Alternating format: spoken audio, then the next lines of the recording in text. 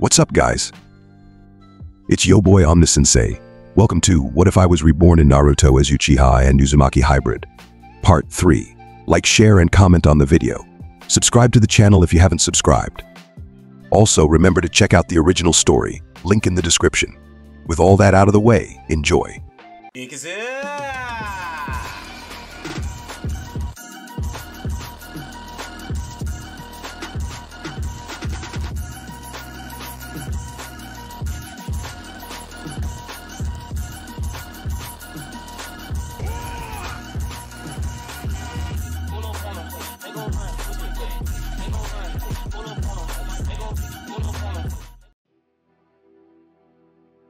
Aoi approached Renjiro with a stern expression, his gaze piercing as he sought an explanation for Renjiro's seemingly reckless actions on the battlefield.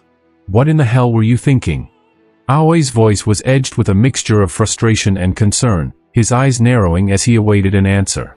It took some time for Renjiro to realize that Aoi was addressing him, as he thought he might be addressing some of his subordinates. I'm talking to you, young man. Aoi repeated. What do you mean? Renjiro inquired. Why did you use all those explosive tags on the battleground?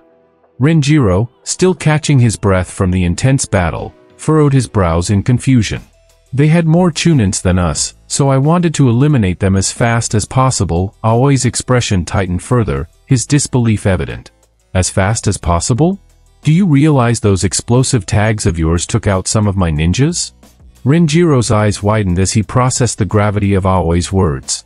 Skeptical of it, he turned to Aiko and Hiro and from the expression on their faces, he could tell Aoi was telling the truth. The revelation hit Renjiro like a shuriken to the chest. At that moment, the reality of his action sank in, and an overwhelming sense of responsibility pressed down on him. A dull ache of regret gnawed at Renjiro's conscience. The progress he had made, the skills he had honed, now seemed trivial in the face of the lives lost due to his lack of foresight.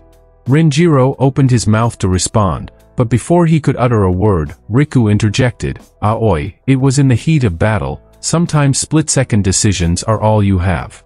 Renjiro acted on instinct to protect himself and eliminate an imminent threat. Besides, berating him about it now wouldn't change a single thing. He's taking my side? I did mess up. I was in my head and caused the death of my allies. If he was honest, Renjiro agreed with Aoi. He got carried away and messed up. Besides, he is a Genin and Chunin were closing in on him. What did you want him to do? Riku finished. Despite being engaged in battle, Riku was keeping an eye on what was happening on the battlefield. He was a bit shocked by Renjiro's rampage, as well as proud when he saw him going against countless Chunins. He did not need to be informed of the events that occurred like Aoi. Aoi's expression remained skeptical as he turned his attention to Riku. Optimal or not, it cost us three Chunins and six Genins from the land of mountains. We could have handled the situation differently. Riku, undeterred, countered, true, the casualties were unfortunate, but Renjiro's actions prevented potential harm to himself and others. In battle, sacrifices happen. Renjiro made a judgment call, and we need to adapt and learn from it. Aoi sighed, recognizing the complexity of the situation. Do these guys think that raising shinobi to that rank in our nation is easy? We are not a major power and the undertaking is resource intensive. Anyway, the daimyo should handle this with Konoha. Choosing not to pursue the matter, they all diverted their attention to their forces. There were some wounded during the battle and also some who had perished. After giving them some first aid and storing their bodies in scrolls for a respectful send-off, they turned to address the biggest elephant in the room. How were they going to split the loot from the bandits?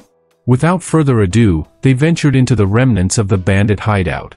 The once menacing structure now stood in ruins, a testament to the fierce confrontation that had taken place moments ago. Riku took the lead, he was scanning the surroundings for any signs of hidden threats. Along the way, they found mangled bodies. These belonged to shinobi serving under the brothers, who were caught unaware and crushed by the collapse of their hideout. With caution, they descended into the dimly lit cavern. They were surprised that the cavern was still standing despite the tremors caused by Riku earlier. As they progressed, the faint glimmer of chakra crystals caught their attention. Riku examined the crystals, recognizing their value. Chakra crystals, coveted for their use in various applications such as enhancing chakra affinity, were a prized possession among shinobi. Further exploration revealed a cache of stolen ninja weapons, neatly arranged in racks. Swords, kunai, and shuriken hinted at the bandits' audacious raids on unsuspecting shinobi.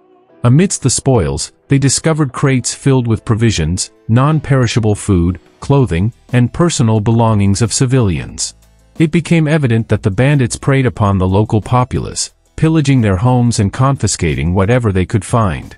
They sure were busy, Riku remarked seeing the loot the bandits had managed to acquire.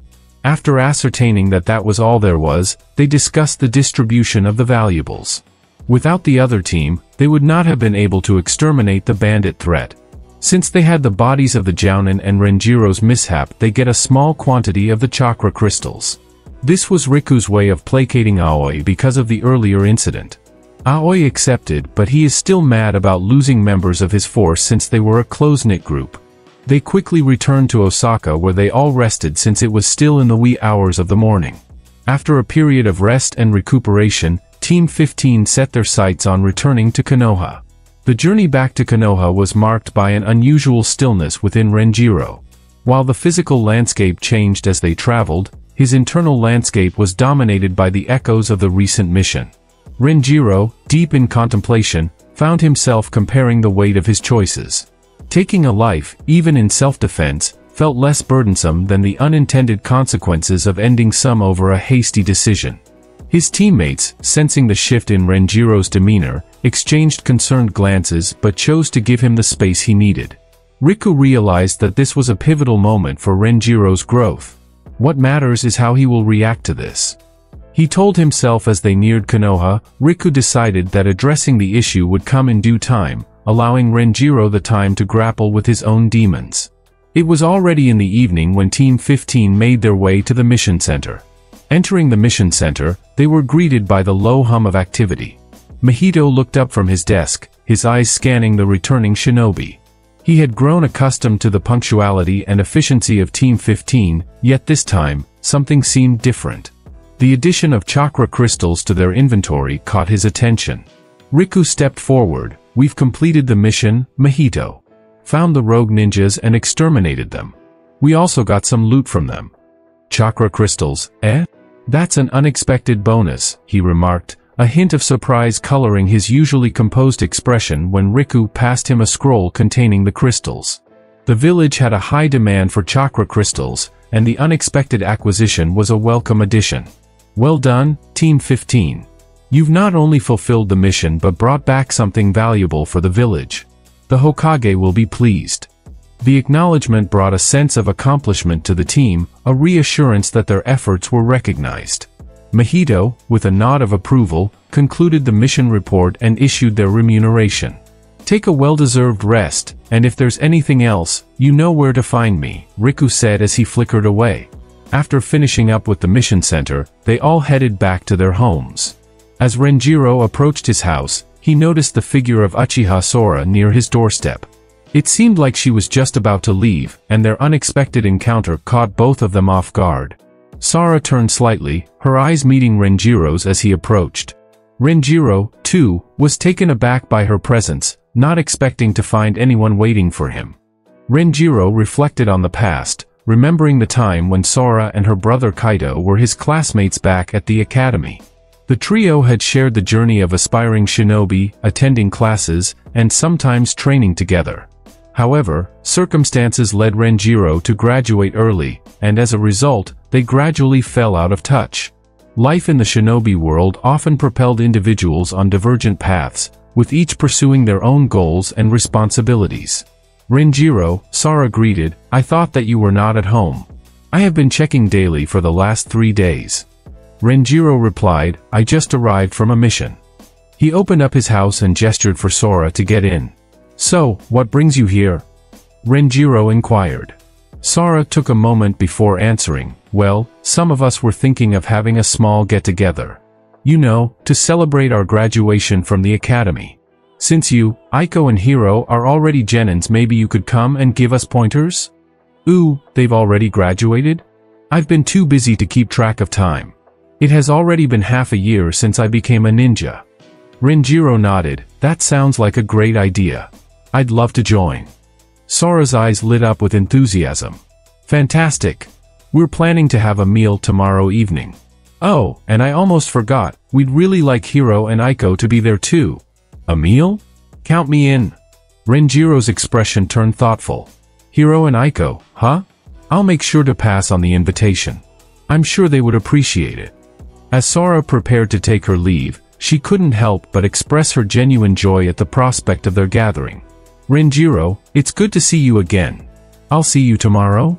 Renjiro smiled, appreciating the sentiment. Indeed, Sora. I will also see you tomorrow.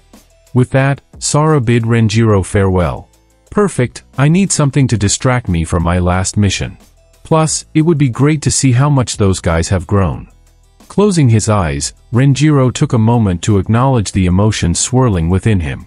Pride for their successful mission and growth in power, regret for the collateral damage, and a resolute commitment to learn from the experience.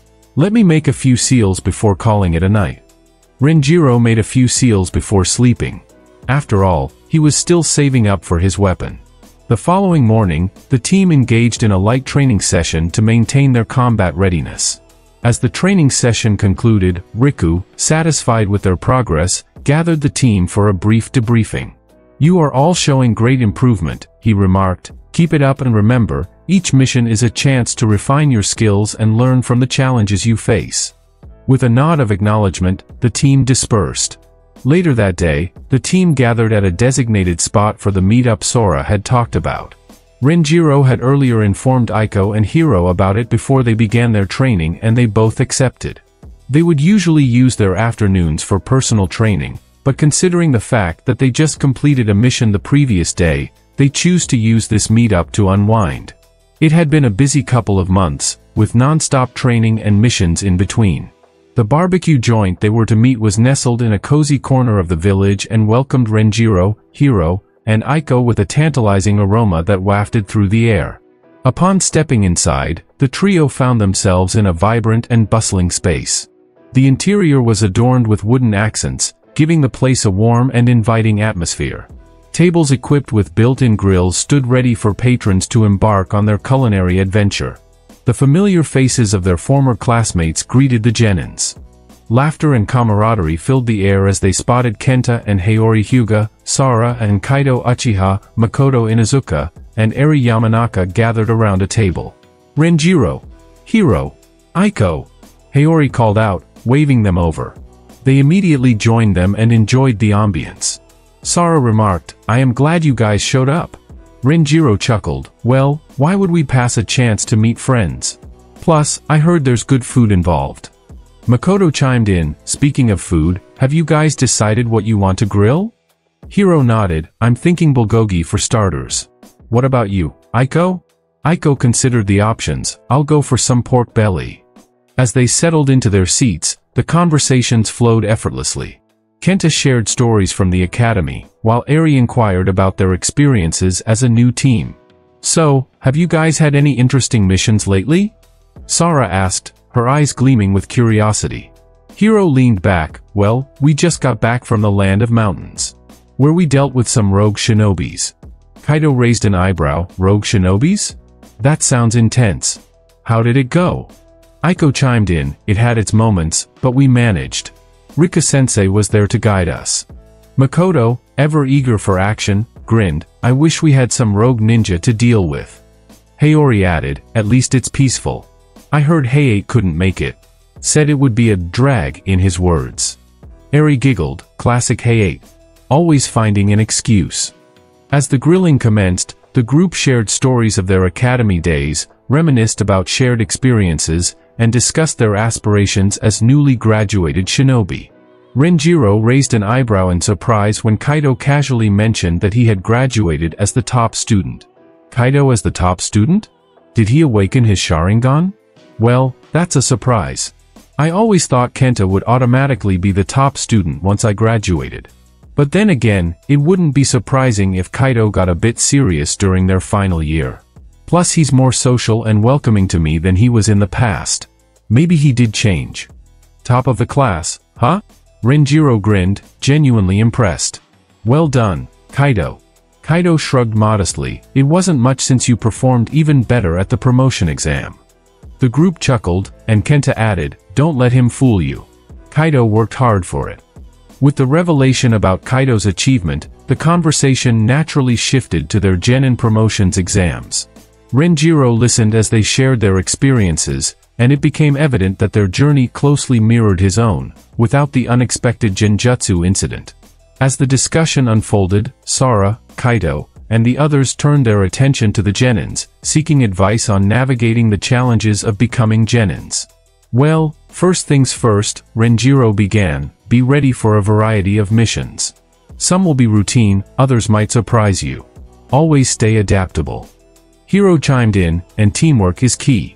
Your teammates will become like family, and you'll rely on each other more than you think. Aiko nodded, exactly. Communication is crucial, both in and out of battle. Always keep your team informed, and don't be afraid to ask for help. Renjiro added, also, embrace continuous learning. Train regularly, explore new jutsus, and seek guidance from your superiors. The village has a wealth of knowledge to offer. Sara, ever inquisitive, asked, what about facing tougher opponents? Any advice on that?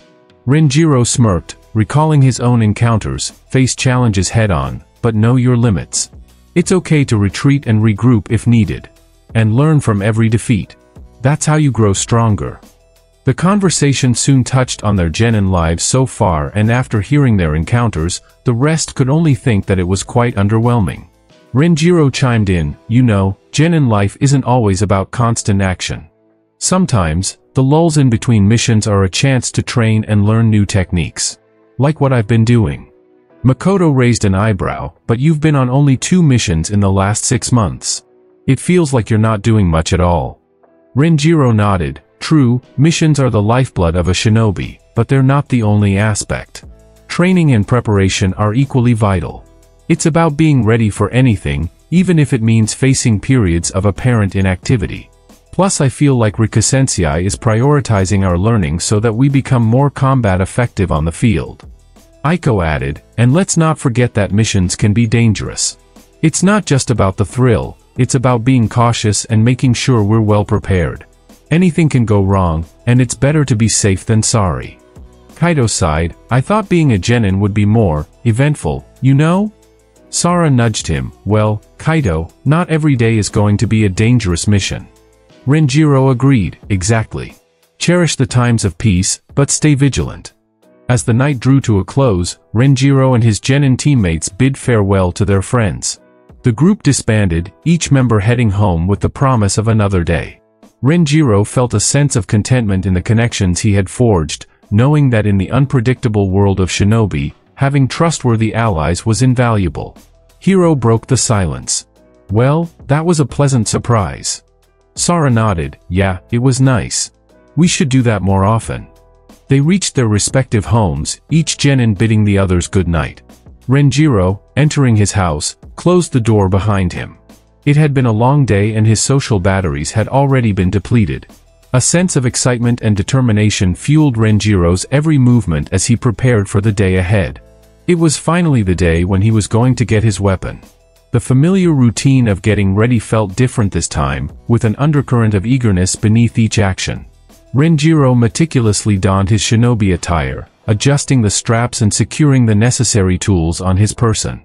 Exiting his house, Renjiro navigated the familiar streets of the clan estate with purpose.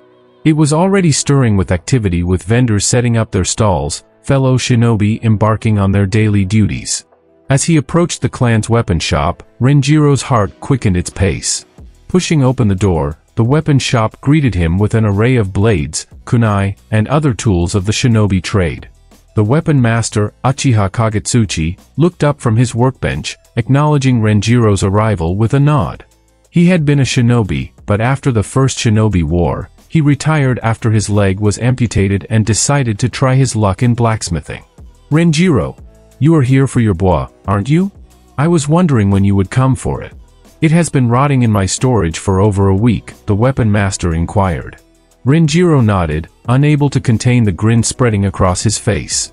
I was on a mission and just arrived the other day. Renjiro's journey to acquire the bois, the bladed staff had been on his mind for a while. In the days leading up to this momentous occasion, he had dedicated himself to creating and selling seals to earn the necessary funds. Kagutsuchi retrieved the bois, a masterpiece of design and functionality. Its ends were bladed, while its unique feature allowed it to be separated into two bladed batons.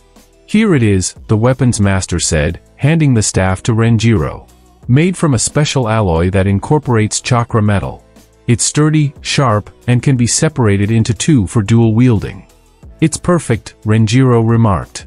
Exactly what I was hoping for. The weapons master nodded in satisfaction. Take good care of it, Renjiro. A weapon is an extension of the shinobi, and this one, in particular, demands respect. Renjiro bowed in gratitude, cradling the staff in his hands. Thank you. I'll make sure it sees good use. The bois felt balanced and powerful in his grip, a tool that Renjiro hoped would accompany him on countless missions and battles. Renjiro, now in possession of the bois, wasted no time in exploring its myriad capabilities within the confines of his backyard. Eager to understand the full potential of his newly acquired weapon, he initiated a series of tests that would showcase its versatility in combat scenarios. With a focused mind, Renjiro discovered a mechanism integrated into the bois that allowed the blades at both ends to retract, transforming the staff into a seemingly ordinary weapon. This feature added an element of surprise to his combat strategy, enabling him to conceal the bladed nature of the staff until the opportune moment. In a swift motion, Renjiro then decided to unlock another facet of the boas design. Separating the staff into two distinct batons, he explored the dual-wielding capabilities that this configuration offered. As the blades gleamed in the sunlight, Renjiro's movements became a seamless dance of precision and agility. The bois responded to his control, attesting to the synergy between the weapon and its wielder. Renjiro paced in his backyard as thoughts of how he could make the weapon more effective echoed in his mind. Yeah, concealing the blades by retracting them is all good, but experienced shinobi would have some sort of super survival instinct after honing their senses to the extreme. I can use genjutsu to hide them so that even if they sense and break the genjutsu, I can easily retract the blades. As he twirled the staff, he envisioned employing genjutsu to the mix, musing, imagine sensing a genjutsu on my staff, breaking it and realizing that there was nothing there that it was hiding. Only to be cut later by my blades. The confusion that sets in when they try to figure this out would give me a clear opening to end the battle. The idea intrigued him. I could also go an extra mile by coating the blades with poison like how Suna does to their puppets, but Konoha does not have any specialized poison users unless I find an Aburame to collaborate with. But dealing with bugs just freaks me out. That said, I need to learn Genjutsu. The only step I've made in that field is learning to break them, and two, I can't say that I am immune to all of them. This is something that I should have gotten to earlier and it's criminally insane that I did not since I already have a Sharingan. I should also get into medical ninjutsu. It would help me gain enough knowledge on making my poisons. I think combining it with chemistry knowledge from my previous world would really help in creating potent poisons. But maybe I could sort the poison thing with Fuinjutsu, right? Or maybe even add Juinjutsu on top of that. Renjiro massaged his temples, now, this is just crazy.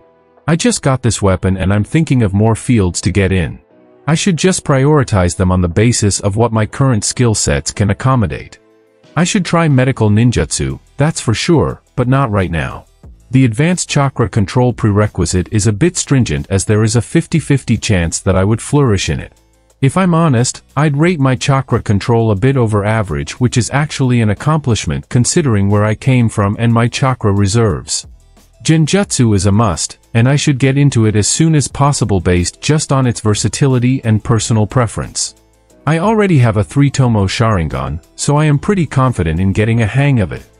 For Fuinjutsu, I should first increase my mastery on it before even considering Juinjutsu as that requires Orochimaru level of experimentation.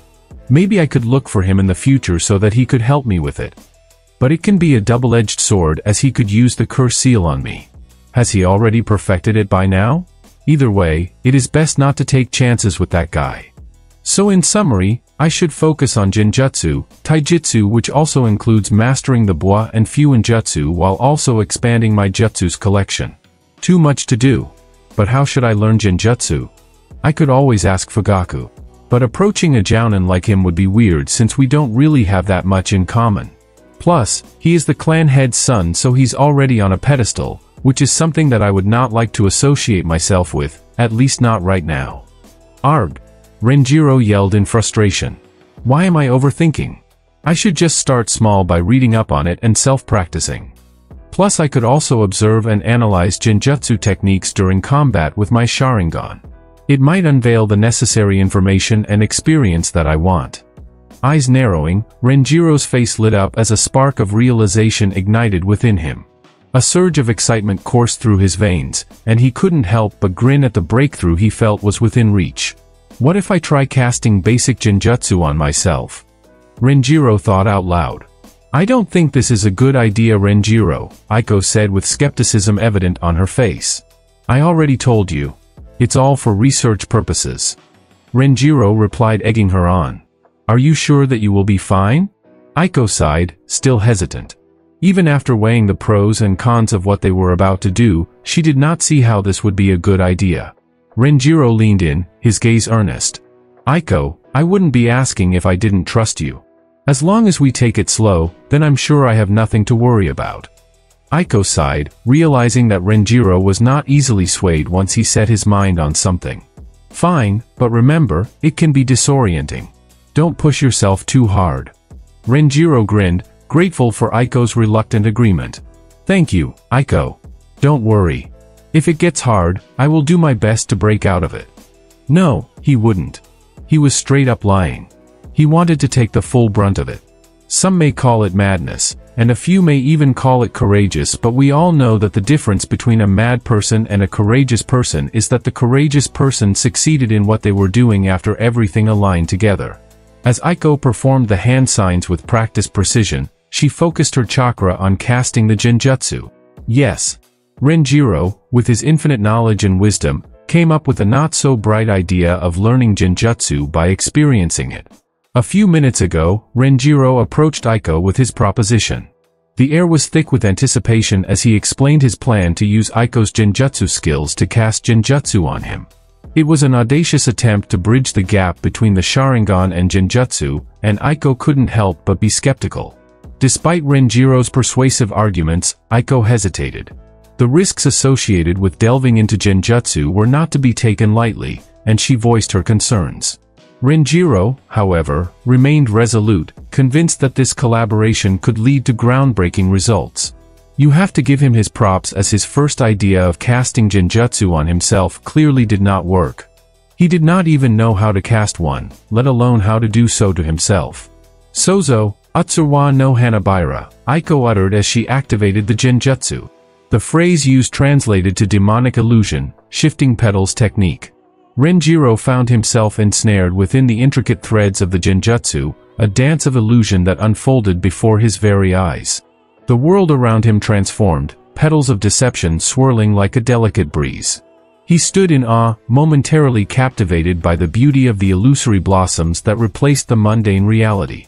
The jutsu Aiko had used, Sozo, Utsurwa no Hanabira, was a C-rank genjutsu designed to manipulate the perception of a nearby object, creating an illusion that alters its appearance. The technique was inspired by the principles of Magen, Kokoni Arazu no Jutsu which served as an introductory yet effective tool in the arsenal of illusionists. To initiate the Genjutsu, the user performs a sequence of swift and precise hand seals, channeling chakra into the immediate vicinity of the chosen target. The Jutsu's range extends from short to mid-range, making it versatile for tactical use on various objects within the user's visual field. Upon activation, the targeted object undergoes a captivating transformation akin to delicate flower petals fluttering in the wind.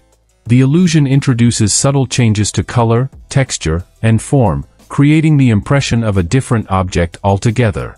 The altered appearance is carefully crafted to blend seamlessly with the surroundings, ensuring a convincing and harmonious illusion. Spectators within the Jutsu's range perceive the affected object according to the illusion's design. For instance, a simple rock could appear as a vibrant blossom or a harmless tree stump. The altered object retains its physical properties, making tactile detection challenging for those ensnared by the illusion. While Sozo, Utsurwa no Hanabira is effective in deceiving the visual senses, it does not confer any additional properties to the object. If the genjutsu is scrutinized closely or touched with intent, the true nature of the object becomes apparent. By momentarily altering the appearance of objects within their environment, users can create distractions, mislead adversaries, or conceal vital elements of their surroundings. Despite it being a C-rank genjutsu, it was fairly easy to learn. Its high rank was because of the potential the genjutsu had when used correctly. Sozo, Utsurwa no Hanabira. Renjiro mumbled, recognizing the nature of the genjutsu. His Sharingan dissected the genjutsu with analytical precision. Petals continued their graceful dance, each movement concealing a layer of intricacy. Each petal seemed to carry a fragment of the fabricated reality, an artful manipulation of perception. It seems mundane, but it capitalizes on messing with someone's perception.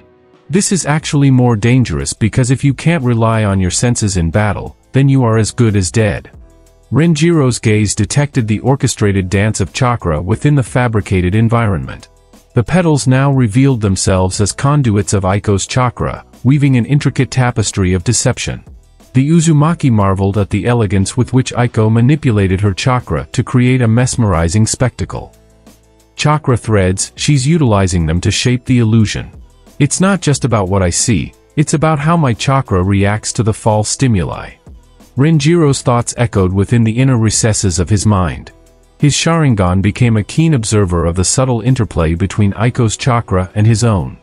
As he delved deeper into the illusion, Renjiro consciously allowed the deceptive threads to entwine with his chakra system.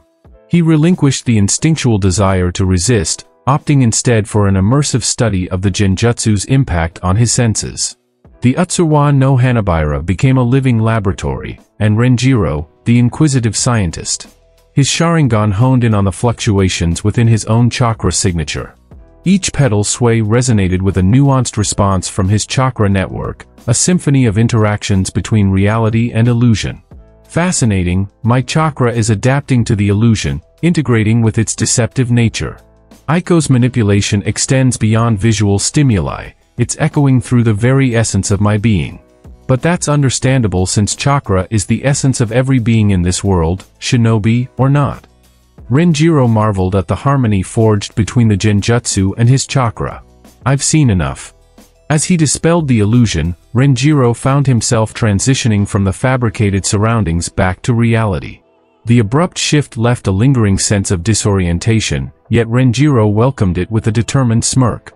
Aiko directed her attention to Renjiro as he dispelled the genjutsu. Renjiro, are you okay? Aiko's voice carried a tone of genuine worry, her eyes scanning him for any signs of distress. You have dispelled it, I hope it wasn't too much.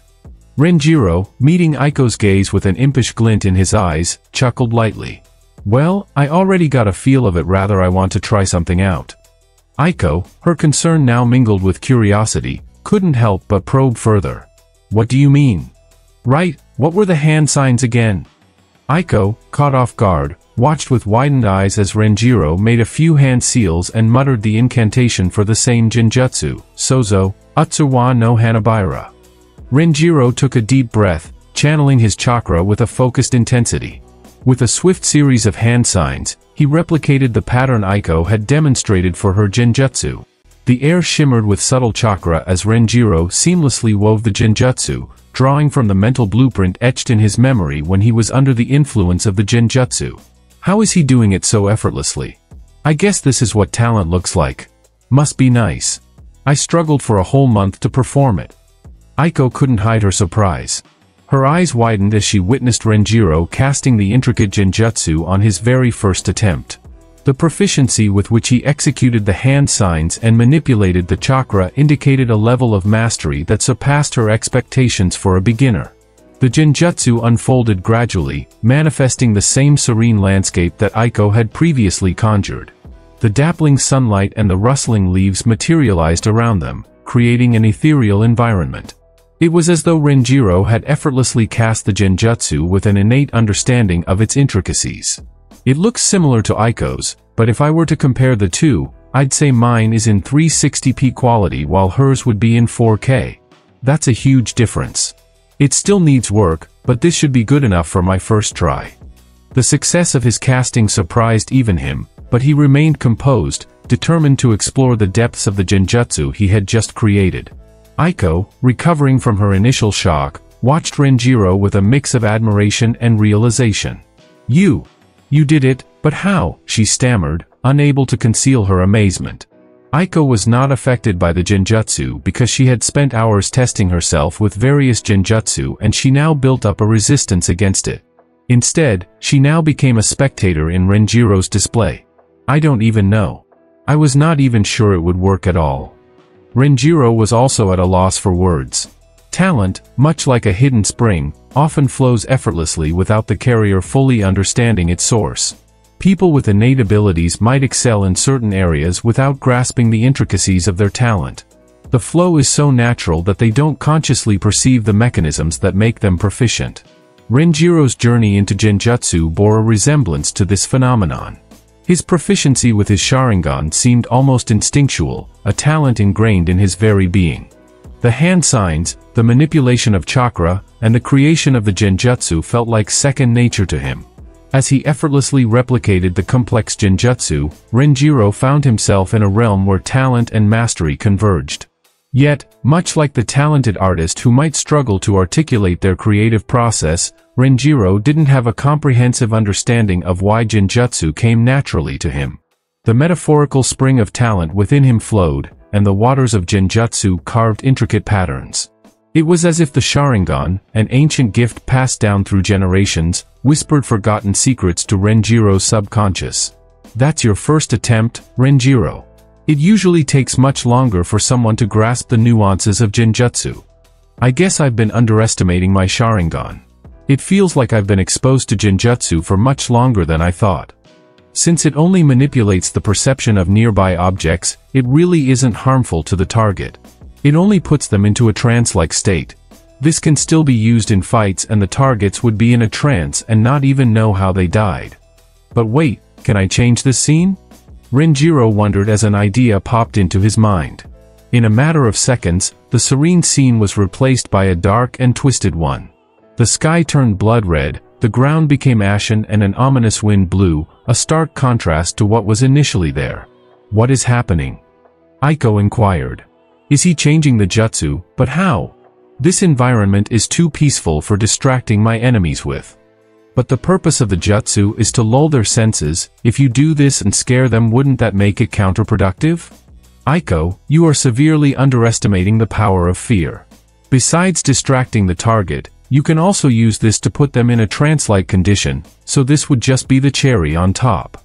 Whatever you say. Still, to alter a genjutsu on your first try. It's as if your Sharingan has an inherent connection to genjutsu. Ah, that's right, she came from a civilian background, so she hasn't been exposed to Uchihas using Genjutsu. I'm not quite sure how this pans out with the others, but I am sure there must be others who are more talented than me in the clan. Renjiro quickly dispelled the Genjutsu, and they found themselves back in the realm of reality. Aiko had initially hesitated to assist him in his pursuit of Genjutsu, but witnessing his swift mastery was a revelation. Renjiro, wearing a faint but confident smile, approached Aiko. Thanks, Aiko. Your help made a significant difference. I've got a lot to explore with Genjutsu, and I can't wait to see where this path leads. Aiko couldn't help but feel a sense of pride, I'm glad I could help, Renjiro. You are my teammate, so if you improve, that also helps me. But please don't be reckless next time. Renjiro's expression turned thoughtful. I understand the risks, Aiko. Besides, every technique carries risks. It's about how you wield them. As they prepared to part ways, Aiko couldn't shake the feeling that Renjiro had embarked on a transformative journey. Good luck, Renjiro. I hope your exploration into Genjutsu brings you everything you're looking for. With a parting nod, Renjiro headed towards the library. Renjiro entered the library, his strides purposeful, and his eyes narrowed with newfound determination. The encounter with Genjutsu had stirred something within him, a hunger for understanding that fueled his steps through the library's hallowed halls. As he approached the section dedicated to Genjutsu, he couldn't help but feel a sense of anticipation. He decided to pick various genjutsu techniques available in the clan library. Since I am good at this stuff, it's best if I double down in it and maximize this opportunity. After hours of intense study, Renjiro chose a trio of genjutsu techniques that interested him. The first, Demonic Illusions, Binding of the Moon, a Uchiha clan speciality, distorted the victim's perception of time, subjecting them to an intense illusion within a fleeting moment. Renjiro saw its potential to disorient and incapacitate adversaries with its manipulation of time. The second, of his selections, Magen, Kyoka Suigetsu, Demonic Illusion, Mirror Flower, Water Moon, exploited the reflective capabilities of his Sharingan, allowing him to craft vivid illusions of dazzling flowers and serene water moons. This technique, adorned with beauty, concealed the danger within, serving as a potent tool for distraction and confusion. The third, Kokuangyo no Jutsu, Bringer of Darkness technique, plunged the target into absolute darkness, rendering them blind. Renjiro recognized the strategic value of disorienting opponents by shrouding them in darkness, leaving them vulnerable to unseen threats. In the quiet hall of the library, Renjiro marveled at the potential held within these scrolls. Each technique embodied his quest for mastery over genjutsu. This should be enough for now. It should keep me busy for a while before the next mission. After mastering the three genjutsu techniques, I should try integrating them into my fighting style. Maybe I could even try to create my own genjutsu technique. Leaving the library, the echoes of ancient knowledge resonating with every step, Renjiro looked forward to the journey ahead, eager to etch his name in the annals of Uchiha greatness through the captivating dance of illusions. I knew that the minute I talked about having enough time to practice my genjutsu, I was jinxing it. Renjiro grumbled as his footsteps echoed through the quiet corridors of the Hokage's office building. He couldn't shake off the feeling of frustration that gnawed at him. Yes, missions were all great and all, but he had been making leaps and bounds in his genjutsu training, and he just wanted to practice it and do nothing else. Next to him, Aiko and Hiro were not sharing the same sentiments as they were happy to go on another mission. The stark contrast between the trio's varying emotional responses to the situation was obvious. Aiko, noticing Renjiro's discontent, nudged him playfully. Cheer up, Renjiro. Missions keep us sharp, right, she remarked with an optimistic smile. Hiro, ever the enthusiast, added, yeah. Who knows what kind of exciting challenges we'll face this time. Renjiro shot them a half-hearted smile but couldn't shake off the nagging disappointment. But isn't it quite odd that we are going to the Hokage's office to get a brief about our mission? We usually just go to the mission center and select a mission. It seems things will be different. Renjiro thought as the trio entered the Hokage's office, where Riku was already in. To their surprise, they found Riku, their sensei, already present, along with two other Genin teams, Team 13 and Team 10. What are they doing here? Renjiro wondered when he saw Team 13 and Team 10. Ah, Team 15, welcome, greeted Hiruzen, I've gathered you all here for a joint mission. Teams 10, 13, and 15 will be working together on this particular mission. A joint mission? This is new. Renjiro surmised. Riku nodded in acknowledgement, casting a brief glance towards his own team. The Genins from Team 10 and Team 13 exchanged polite nods and greetings with Team 15. Renjiro sized the other two teams up. He had heard of some of them since they all took the same Genin promotion exam. However, since they were not even in the same class back at the academy, they did not interact much after the exam. Team 10 was one specializing in tracking. Kurama Sando, a Jounin with a specialization in Genjutsu, was the Yani sensei. The Jounin's presence exuded an air of confidence, and Renjiro couldn't help but wonder about the extent of his Genjutsu expertise. Maybe I should ask him about Genjutsu, I am sure his insights will help. But the fact that their clan fell by the time the story began showed how their genjutsu wasn't that powerful. Team 10 was stacked with skilled genins with diverse abilities. One of them was Ono Inuzuka who caught Renjiro's attention immediately. His Inuzuka heritage was evident from the massive Ninken, Shuji, who stood proudly by his side.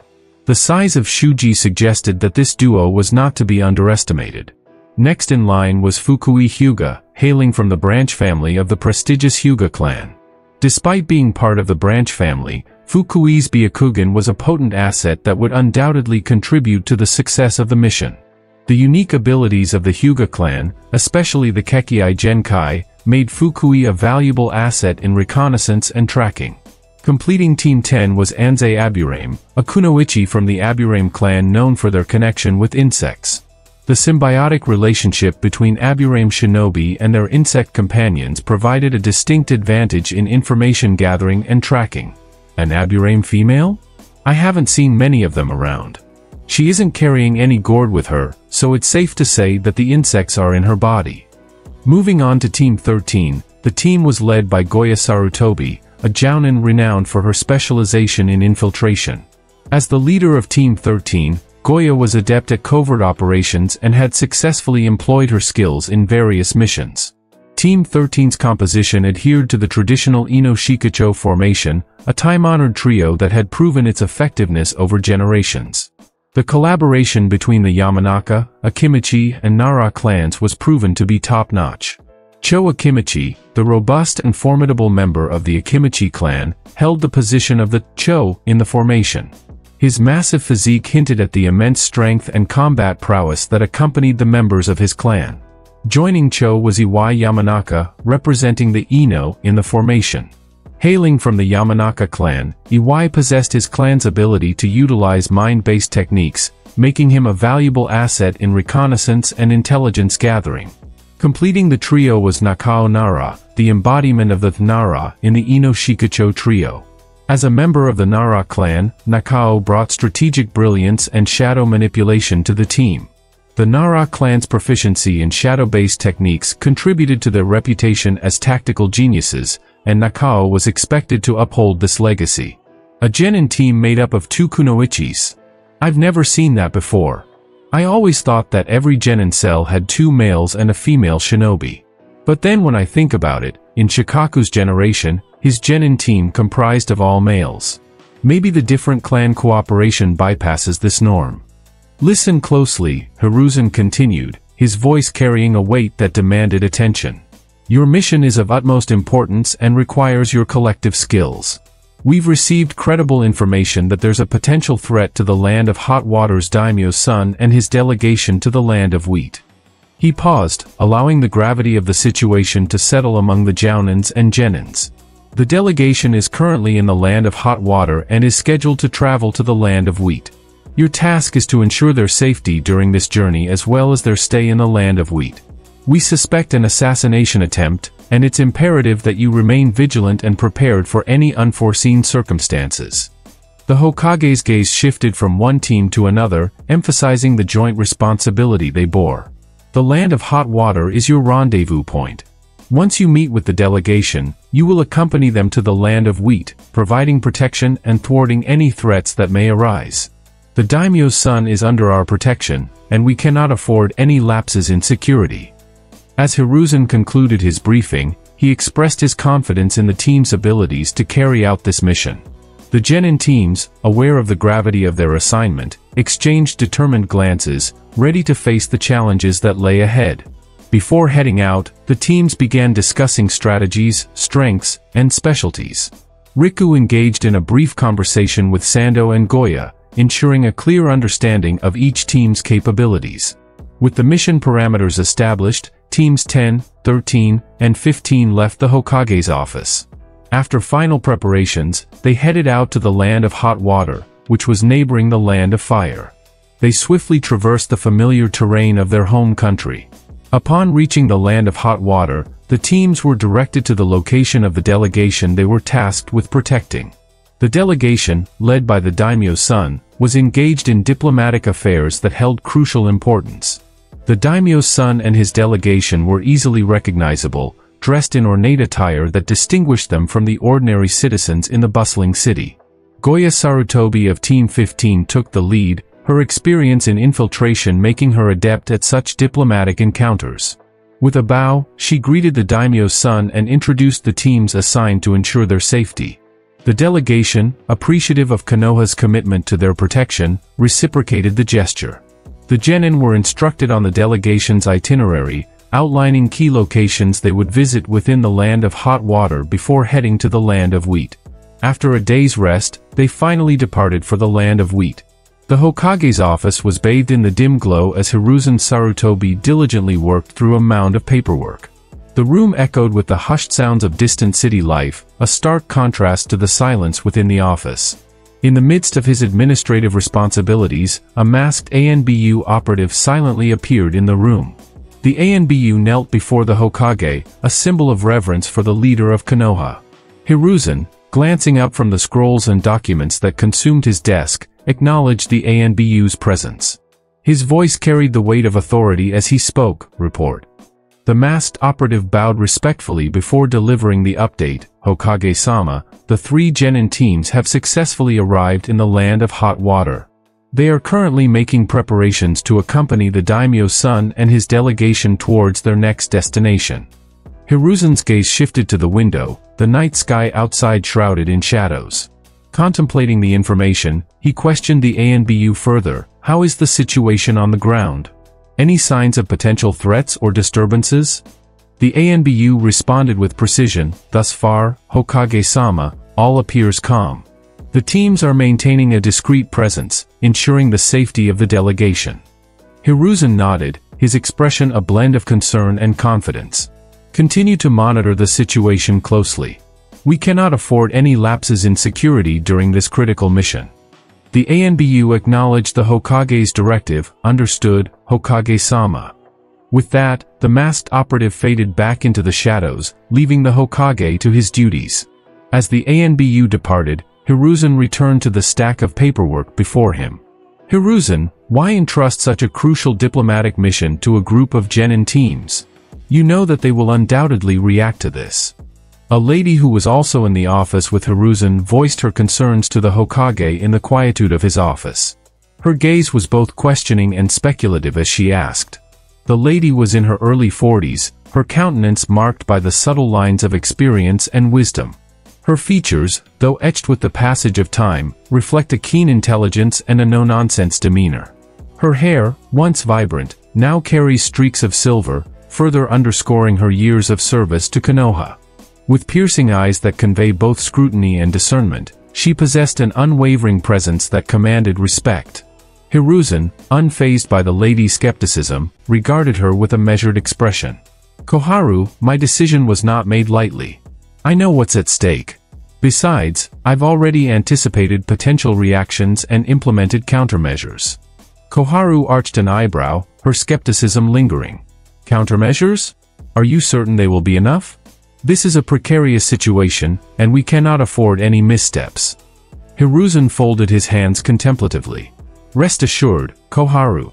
I have taken every precaution. The Genins assigned to this mission may be young, but they have proven themselves capable in their previous endeavors. This mission is an opportunity for them to demonstrate their growth and adaptability.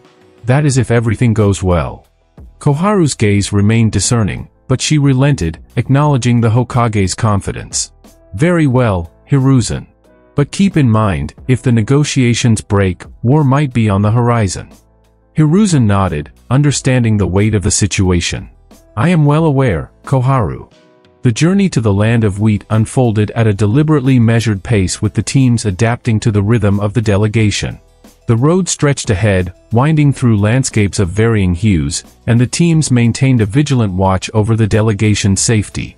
As the miles passed beneath their feet, Renjiro couldn't help but feel a tinge of restlessness.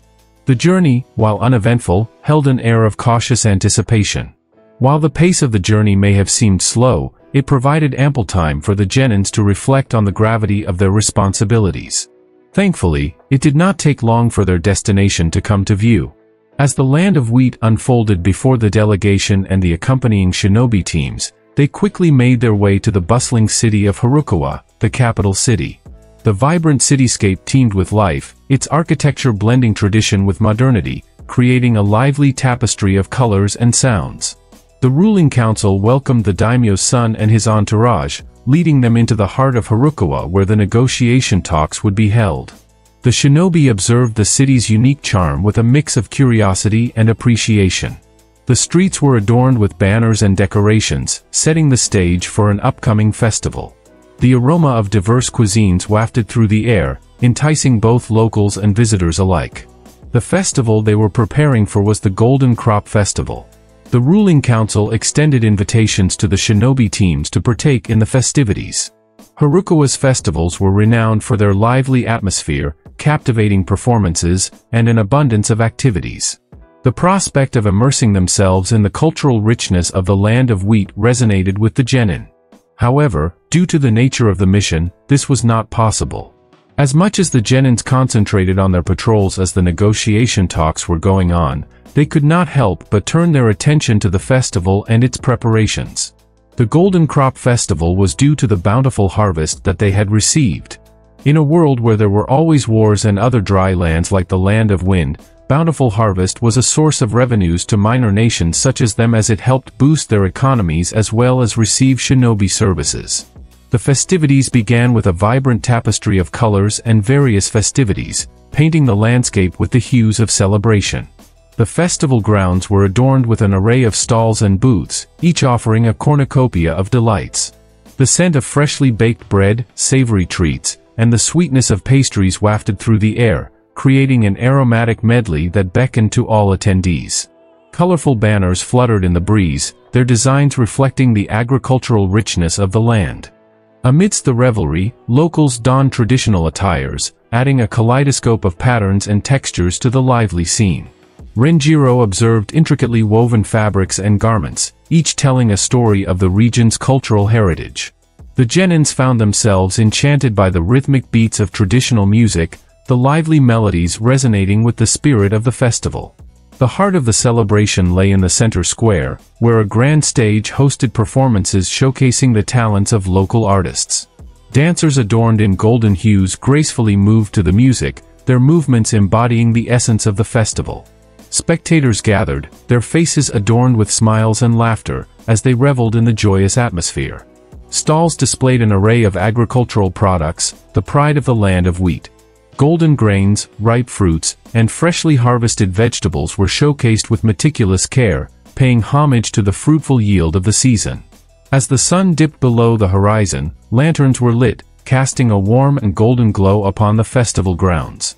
The atmosphere became enchanted, the flickering lights creating a magical ambience. Unfortunately, the joyous atmosphere of the festival took an abrupt turn as a sudden disturbance cast a shadow over the vibrant celebration. The air, once filled with laughter and music, now resonated with panicked shouts and the buzzing of an unexpected threat. A dark cloud descended upon the festival grounds, but it wasn't the looming night sky. Instead, it was a swarm of relentless insects, their presence heralding chaos. A few minutes earlier, perched on an elevated vantage point, a group of four shinobis observed the lively scene unfolding below with its vibrant colors, music, and the anticipation of a joyous celebration. The group comprised of three males and one lady. Cloaked in maroon attire that blended with the shadows and adorned with brown flak jackets, the group of four shinobi remained inconspicuous amidst the festival's vibrant atmosphere. Their choice of clothing was not only a clear indication of what village they came from but also a strategic decision as the dull colors helped them to seamlessly meld with the darkness. The leader of the group, a man with an air of authority, glanced toward a kunoichi, who was the group sensor, awaiting her crucial update. The man inquired, what's the update? The Kunoichi swiftly relayed her findings. The three Jounins are in close proximity to the negotiation hall. We need a diversion to draw their attention away from that area, she reported her voice low and measured. The leader, aware of the delicate nature of their mission, pondered the situation. He then responded, a diversion hmm? Let me take care of that. He took a step forward, signaling his intent to handle the diversion part personally. With a fluid and practiced motion, he formed a hand seal and bellowed, Bees Arts, Be Wrath. In response to his command, a swarm of bees materialized, their origin seemingly from a huge gourd on the shinobi's back. The bees, agitated and ready to execute their master's bidding, surged forward with a frenetic energy. The swarm descended upon the unsuspecting civilians like a dark cloud, disrupting the joyful atmosphere of the festival. Panic ensued as the bees began to attack the festival goers with relentless fury. Present time, the night in Harukawa was enveloped in an eerie ambience Renjiro, together with Anze Aburame, moved with a silent vigilance through Harukawa streets. The duo was part of a larger force, consisting of nine genins tasked with patrolling the city in pairs, except for Team 15, who navigated the night as a trio. Hiro and Ono Inuzuka, Aiko and Fukui Hyuga, and the rest of the genins navigated the city in their designated groups, creating a web of surveillance that aimed to catch any potential threats in its threads. Renjiro's Sharingan eyes glowed softly in the darkness, attuned to detecting any subtle disturbances in the surroundings. Anze moved with a quiet confidence, her insect companions serving as an additional set of eyes and ears. Silence prevailed, occasionally interrupted by the distant sounds of the city at night. Seeing the awkward silence Renjiro wanted to engage in conversation to learn more about her. Renjiro casually remarked, so bugs, huh? The words lingered in the air, awaiting Anze's response. Renjiro anticipated a response. However, before Anze could answer, her demeanor shifted. Her gaze was fixed on a distant point. Something is coming. Get ready, Anze announced with an urgency that cut through the night air. The shift in her tone and the alertness in her eyes made it clear that whatever approached demanded their immediate attention. Renjiro shifted into alert mode, his senses heightened as he activated his chakra field. Curious and slightly perplexed, Renjiro turned to Anze Aburame and inquired, what's coming? The decision to deactivate his chakra field had been intentional from Sando's earlier instructions. The reports of potential assassination attempts had prompted caution, they wanted to bait the enemy and lure them out. Anze, with a furrowed brow, responded to Renjiro's question. Wait, is this correct? Insects. Bees? They're coming, she said, her tone revealing a mix of uncertainty and concern. What do you mean bees? Renjiro asked. What else is there to explain? Bees are coming. Anze replied as they both headed to civilians who were screaming from the agony of the bees' attacks. Unfortunately, the chaos intensified when Renjiro and Anze sprang into action. She utilized her ability to control and communicate with insects and directed her bugs to assist in aiding the nearby civilians. The civilians, in the midst of confusion and panic, mistook the Aburame's insect manipulation for an attack. Their cries of distress echoed through the festival grounds, amplifying the atmosphere of chaos. The misunderstanding exacerbated the situation, as fear and paranoia swept through the crowd like wildfire. Renjiro, recognizing the need to diffuse the tension, raised his hands in a gesture of non-aggression. Calm down, we're here to help, he shouted, trying to make himself heard over the commotion. Anze, too, attempted to reassure the civilians, urging them to remain calm amidst the turmoil. Probably telling them to calm down now won't help. Renjiro swiftly executed a body flicker technique, appearing beside the startled civilians. He flickered some of them away causing the civilians to blink and find themselves at a safer distance from the perceived threat. Along with Anze, they both did so until all the civilians were safe from danger. Since they could now face the swarm of bees without worrying about the civilians, Renjiro decided to utilize a fire jutsu, hoping to showcase their ability to control the situation. Fire release, greater fireball jutsu, he muttered, conjuring a burst of intense flames that danced in the night sky heading to the bees.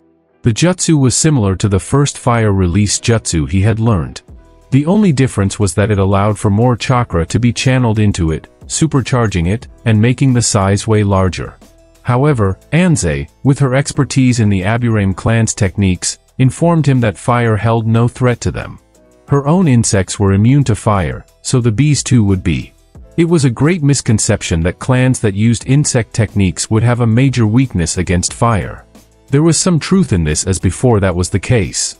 However, such clans had trained their Kikaichu to be fire-resistant. At least to some extent. Hmm? Something is wrong. Back at the hall where the negotiations were being held, Riku thought. The trio of Jounins, having noticed the sudden turmoil in the festival below, found themselves at a crossroads. The urgency of the situation was evident, but they were unsure of whether they should intervene immediately or adhere to their original mission of safeguarding the delegation. In the midst of their contemplation, the unexpected occurred. For mysterious shinobi, each a jounin like themselves, appeared before them. What the he dash Sando wondered. Without warning, the attackers initiated an assault, catching the Konoha Jounins off guard. They faced off against the assailants who had been a part of the group that unleashed the swarm of insects upon the festival. Among these attackers, the leader, who had earlier initiated the Bee Wrath Jutsu, observed the skirmish with an air of nonchalance. His demeanor suggested an eerie calmness, standing casually as if the ongoing battle held no significance for him. The three Jounins, Riku, Sando, and Goya, engaged in combat with the assailants. However, the leader of the opposing group refrained from direct involvement, content to let his subordinates take on the task of confronting the Konoha Jounins. Kaya Kamizuru. What the hell is IWA thinking by deploying an S-rank ninja in a minor village? Riku wondered when he managed to sneak a glance at the shinobi while fighting an IWA Jounin. S-rank ninjas stood at the pinnacle of strength and skill within the shinobi world. Beyond the raw power they wield, these elite shinobis are considered strategic assets, often serving as a deterrence to potential threats to a nation or a shinobi village to be specific.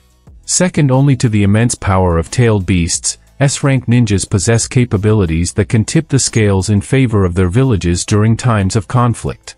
Their skills and prowess make them Kage level, and any one of them is deemed suitable to ascend to the position of village leader.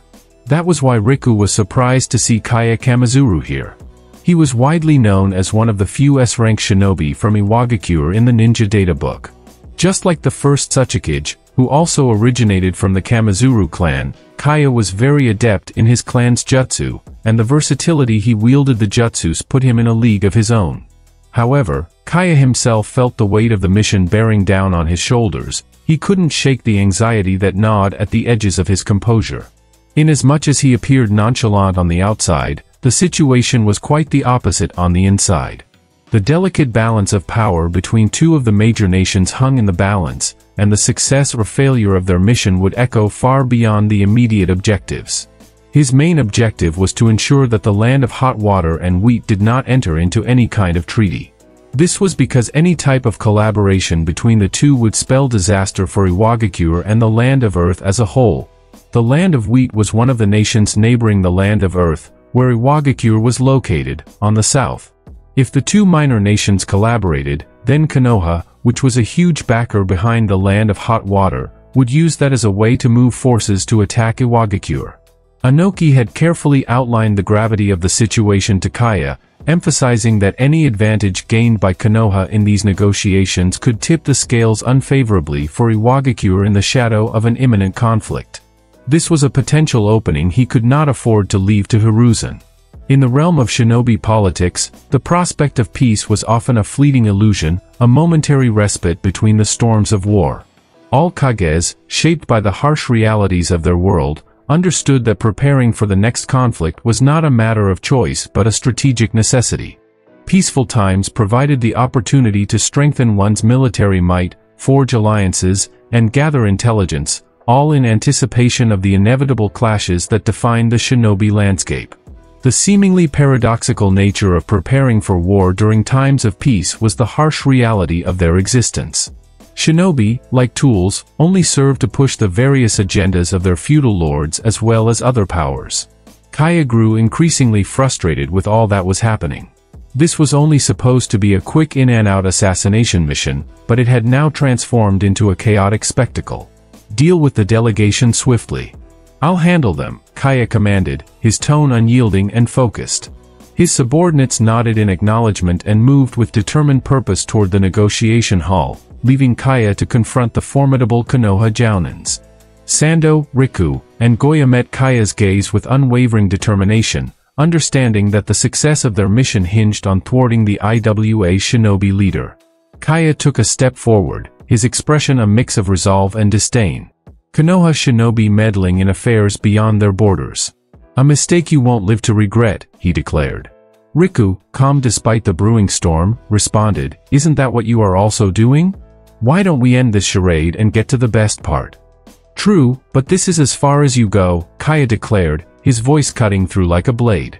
We'll see about that.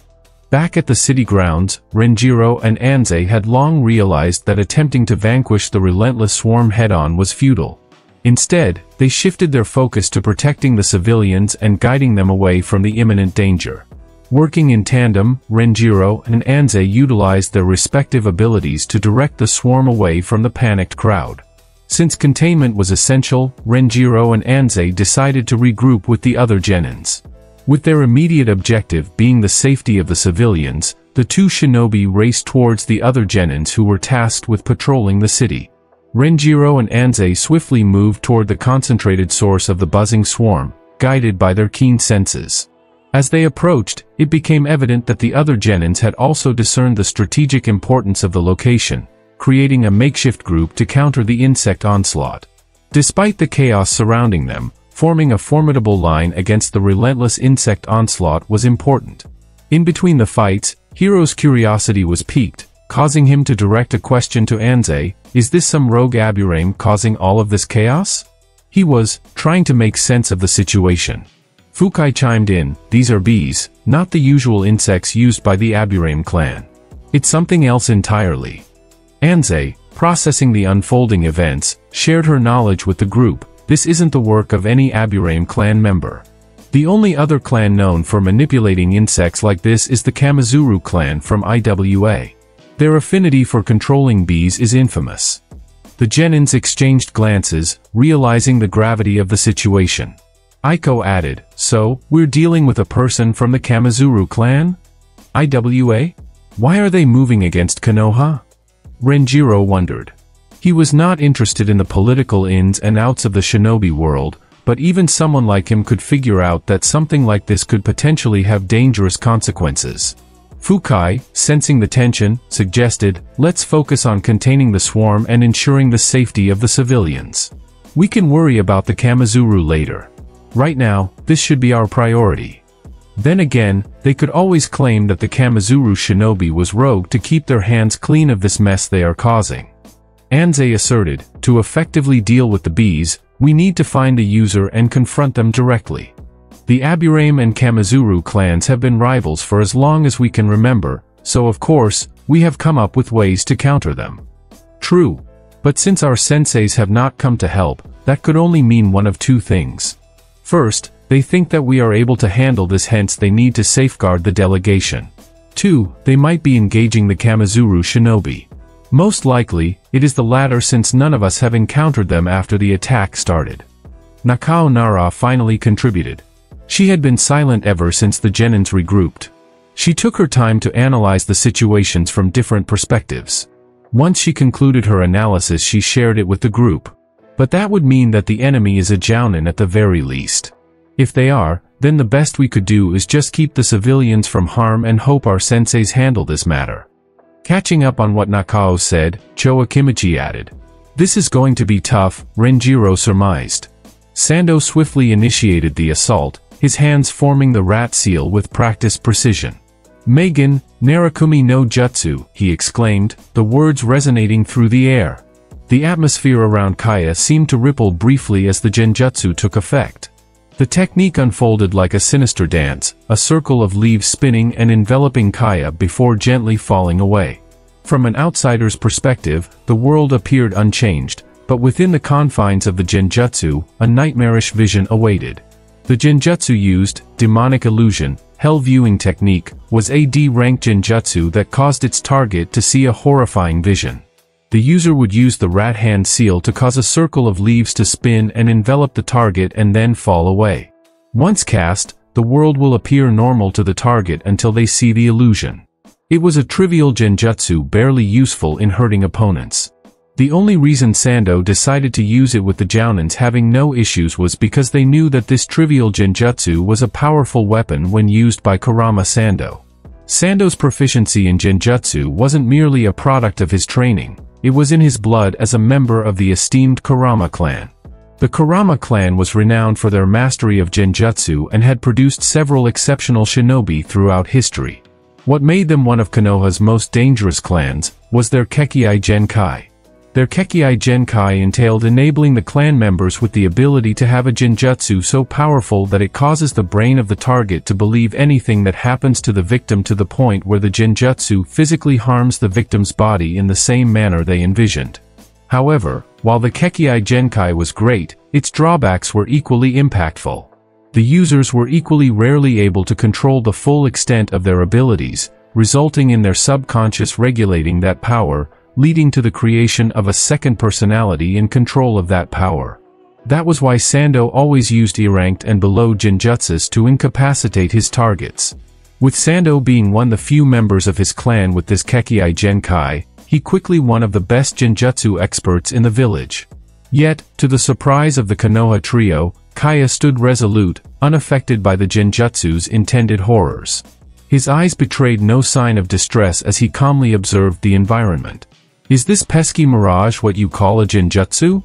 Kaya asked as he caught something behind him. Sando quickly came into view on Kaya's hold. Let me show you the real deal. In response to Kaya's contemptuous remark, Sando felt the sting of the unknown substance as it struck his face. The viscous material clung to his face. However, before he could fully comprehend the situation, Kaya retaliated with a swift and unexpected maneuver. With a sudden surge of chakra, Kaya deftly wove a genjutsu of his own, ensnaring Sando's senses in it. The world around Sando was twisted and distorted. As the genjutsu took hold, the environment became a surreal landscape. Caught within the genjutsu, Sando struggled to discern reality from fiction. The disorienting effects of the genjutsu made him vulnerable, and in that moment of vulnerability, swift as a shadow, Kaya drove a kunai into Sando's midriff. The sudden pain and the shock of the unexpected attack jarred Sando's relieving him from the genjutsu. However, he left one world of pain only to enter another one. He grunted, feeling the cold metal pierce his flesh. As Sando executed the rat hand seal to cast the genjutsu, the swarm of bees Kaya had released to the environment responded to the disturbance of Sando's chakra. Swift as a reflex, Kaya's connection with the hive allowed him to interpret their signals. With efficiency, Kaya disrupted his chakra flow, creating interference that negated the genjutsu's intended effect. Instead, Kaya seized the opportunity to turn the tide. With Sando unsuspecting, Kaya launched a surprise attack, spitting forth an unknown substance on his face. The liquid was his hive's very own mead. The liquid dulled Sando's senses making it easy for Kaya to use the pheromones released by the hive to entrap Sando in a genjutsu before stabbing him with a kunai. It was unfortunate as Sando had gone down on the very sword he used to shine. Meanwhile, Riku and Goya were both surprised to see this. What the hell happened? It was a sure bet that he would fall into Sando's genjutsu. He is an S-rank ninja, I should not have expected things to be that easy. Goya tried to process the situation while preparing herself for the inevitable clash. With Sando out of commission, it would be hard dealing with the beekeeper. With a nod, Goya and Riku moved to orchestrate a symphony of destruction, each jutsu harmonizing with the other to create a relentless barrage. Goya employed fire-release jutsu such as Searing Migraine, while Riku employed wind jutsus like the Great Breakthrough Jutsu to amplify Goya's attacks. Kaya, recognizing the overwhelming power arrayed against him, summoned his swarm of bees as a protective shield. The insects, an extension of his will, buzzed around him like a living fortress, intercepting the fiery tempest and shielding him from the earthen onslaught. However, even the Kamizuru leader couldn't deny the sheer force of the combined attacks. The bees valiantly withstood the assault, yet the strain was evident. As the battle unfolded, Kaya's strategic mind sought an avenue of escape from the relentless assault. His nimble movements allowed him to evade the more devastating blows, but the sustained pressure. They are coming on strong. I need to change the flow of the battle. Yes, he was an S-rank ninja, but all that stemmed from the fact that his bees were very versatile. Against a vicious onslaught from the two Konoha Jounins, he was in a tight spot. Beeswax clone. Drawing his chakra, Kaya crafted a clone from beeswax. The clone joined its creator on the battlefield. Now bolstered by this ally, Kaya seized the opportunity to turn the tide. The duo launched a barrage of coordinated counterattacks. Goya and Riku, momentarily caught off guard by the sudden shift in the battle, found themselves forced into a defensive position. Unfortunately for Kaya, the temporary respite provided by his clone was short-lived. Goya unleashed a scorching fire jutsu, targeting the clone, engulfing it in flames that, well melted it. As the fiery demise of his clone unfolded, Kaya's attention wavered for a moment. Seizing the opportunity, Riku exploited the opening. With a sequence of hand seals, the very earth beneath Kaya's feet responded to the Jounin's command. Doton Kekkai, Doradamu.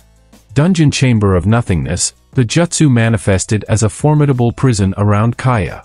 A self-repairing dome encased the IWA shinobi, leaving him confined within a chamber of unyielding earth. Inside the dome, Kaya found himself in an inescapable embrace of the earth. Attempts to break free were met with the unyielding resistance of the barrier. The relentless attacks from the Jounins had culminated in a moment of tactical brilliance, trapping the IWA shinobi within the confines of a dome. Why are they so stubborn? I guess I have to use that. Although it's chakra intensive, it's my only option. With resolve, Kaya decided to use his trump card. With a tremor, Kaya shattered the earth dome, emerging clad in some sort of armor. Observing Kaya's resurgence, Riku turned to Goya. Goya, ensure the safety of the delegation. I'll hold him off. Riku, it's been hard taking him on with just the two of us dash, we don't have any other option Goya. Riku interrupted Goya, understanding the urgency of the situation, nodded affirmatively. Riku prepared to face Kaya head-on. Meanwhile, Goya hastened towards the delegation hall. Upon entering the delegation hall, Goya surveyed the scene to ensure the safety of the land of wheat and hot water representatives. What are they doing here? Goya wondered as she could not believe what she was seeing. Back to Riku and Kaya's clash, both shinobis were on the verge of collapsing. Kaya's chakra reserves were nearly depleted, and the strain of maintaining his armor was taking a toll. On the other side, Riku, despite having larger reserves, suffered from injuries inflicted by Kaya during their confrontation. Kaya's armor was a result of using his hive's exoskeleton. His bees were a variant that evolved from crossbreeding bees and Baikochu insects. They had stung Kaya and used their exoskeleton to form the armor covering Kaya. The armor increased his overall physical capabilities beyond what chakra normally could do with one of them with great physical capabilities and other with a greater chakra reserve forced the battle to turn to one of attrition. Riku was taking the brunt of Kaya's attack while Kaya was taking a hit on his reserves. In the midst of the struggle, Riku managed to deliver the final blow to Kaya, forcing him to collapse under the weight of chakra exhaustion. As Kaya fell, Riku faced the same fate as he too, gave in to his injuries. As Riku collapsed, a mysterious figure emerged. The silhouette stepped forward. The stranger approached Riku's unconscious form. What are they doing here? Goya wondered as she could not believe what she was seeing. Her eyes widened in surprise as she entered the negotiation hall, expecting to find land of wheat shinobis fighting against the IWA Jounins. Instead, she was met with a scene of unexpected collaboration between them and some of the Genins. Renjiro, Fukui Hyuga, and even her own Genin, Cho Akimichi, were actively engaged in a coordinated effort to assist the shinobis from the land of wheat against the IWA Jounins. This was a surprise as she had expected the nine Genins, that they came with, to focus on the civilians. Besides keeping the civilians safe, it was a dangerous situation for them to be in as they would be more of a liability than help. They've already killed some nobles from both sides. I need to contain them. Goya quickly assessed the situation. With a sense of urgency, she joined their efforts, ready to lend her skills to the collective goal of thwarting the IWA shinobi's plans. Finally, Goya has arrived. Renjiro was very happy that one of their Jounins had arrived because holding the IWA shinobis off was very hard. Still, it was a noble effort considering that they were Genins, although they were taking on a supportive role. Back when the Genins were still trying to contain the hive threat, their senses were heightened by the urgency of the situation and Renjiro detected the escalating conflict involving their senseis and the IWA group. Fukui's Byakugan only served to confirm Renjiro's observations, providing an enhanced perspective on the unfolding events. Renjiro turned to the rest. Our senseis are fighting someone. Someone very powerful. We need to go and safeguard the delegation, he declared, his voice carrying a sense of urgency. Fukui nodded, his Byakugan was still active, scanning the area for any information that they could use. I agree. Let's go, but be cautious. We don't know the full extent of the enemy ninja's abilities, he cautioned. Since not all of them could go, only Renjiro, Fukui and Cho would be going, leaving the rest to contain the bees as they were still running rampant. They quickly left and headed to where the fight was. They saw their senseis engaged with an IWA shinobi. They knew their limits and decided to head into the hall. The sight that met their eyes was one of chaos, with IWA ninjas overwhelming the defenders from the land of wheat. Without hesitation, Renjiro, Fukui, and Cho coordinated their efforts, each selecting an opponent to engage and support the defenders.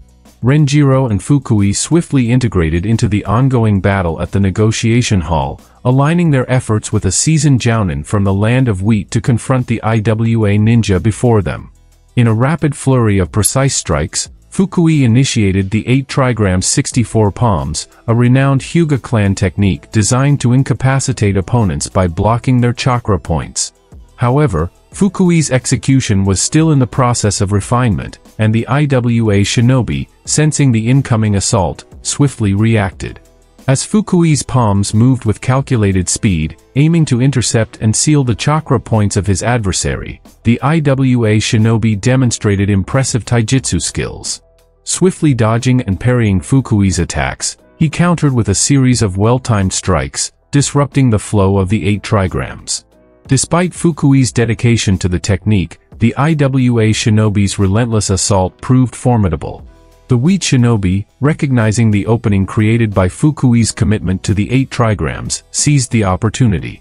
With a calculated strike, he incapacitated the IWA shinobi. They had just finished off the IWA shinobi when Goya entered the hall. Together, they turned their attention towards the remaining two IWA jounins. Goya swiftly closed the distance between herself and the female IWA Jounin. In a seamless blend of agility and precision, she joined the fray, adding her formidable skills to the mix. The battle intensified as the shinobi clashed in a flurry of jutsu and taijutsu, each move calculated to gain the upper hand. As the skirmish unfolded, it did not take time before they collectively dispatched the enemy shinobis. In the aftermath of the battle, the toll on both delegations became increasingly evident. The clash between the Land of Wheat and IWA Shinobi had unintended consequences, resulting in casualties from both sides. Unfortunately, the group briskly made their way outside. Riku was still fighting Kaya, and the urgency of the situation compelled them to intervene in the ongoing struggle. Hmm? Is that Tsunade? Renjiro thought immediately as they saw Tsunade tending to both Sando and Riku's injuries. Despite knowing of her, there was something about her presence as one of the Sannins that left him momentarily awestruck. She emanated an aura of strength and experience. Tsunade's long, blonde hair cascaded down her back, framing a face marked by both wisdom and the indomitable spirit that defined her reputation. Her attire was the usual Jonin outfit which was a contrast to what Renjiro saw her in back when he was watching the series. Her presence is completely different from Hiruzen's. While the latter's is gentle and welcoming, hers is a bit ferocious. Tsunade, her hands still immersed in healing Kurama Sando, who was at death's door, cast a discerning gaze at the trio of genin standing before her. The intensity of her gaze seemed to pierce through their thoughts. It seems she still hasn't developed her phobia for blood. What are you lot gawking at? She quipped her tone a blend of authority and mild amusement. This isn't a sightseeing tour, if you're going to stand there, you might as well be useful. Renjiro, Fukui, and Cho exchanged glances before Renjiro, taking a step forward, cleared his throat.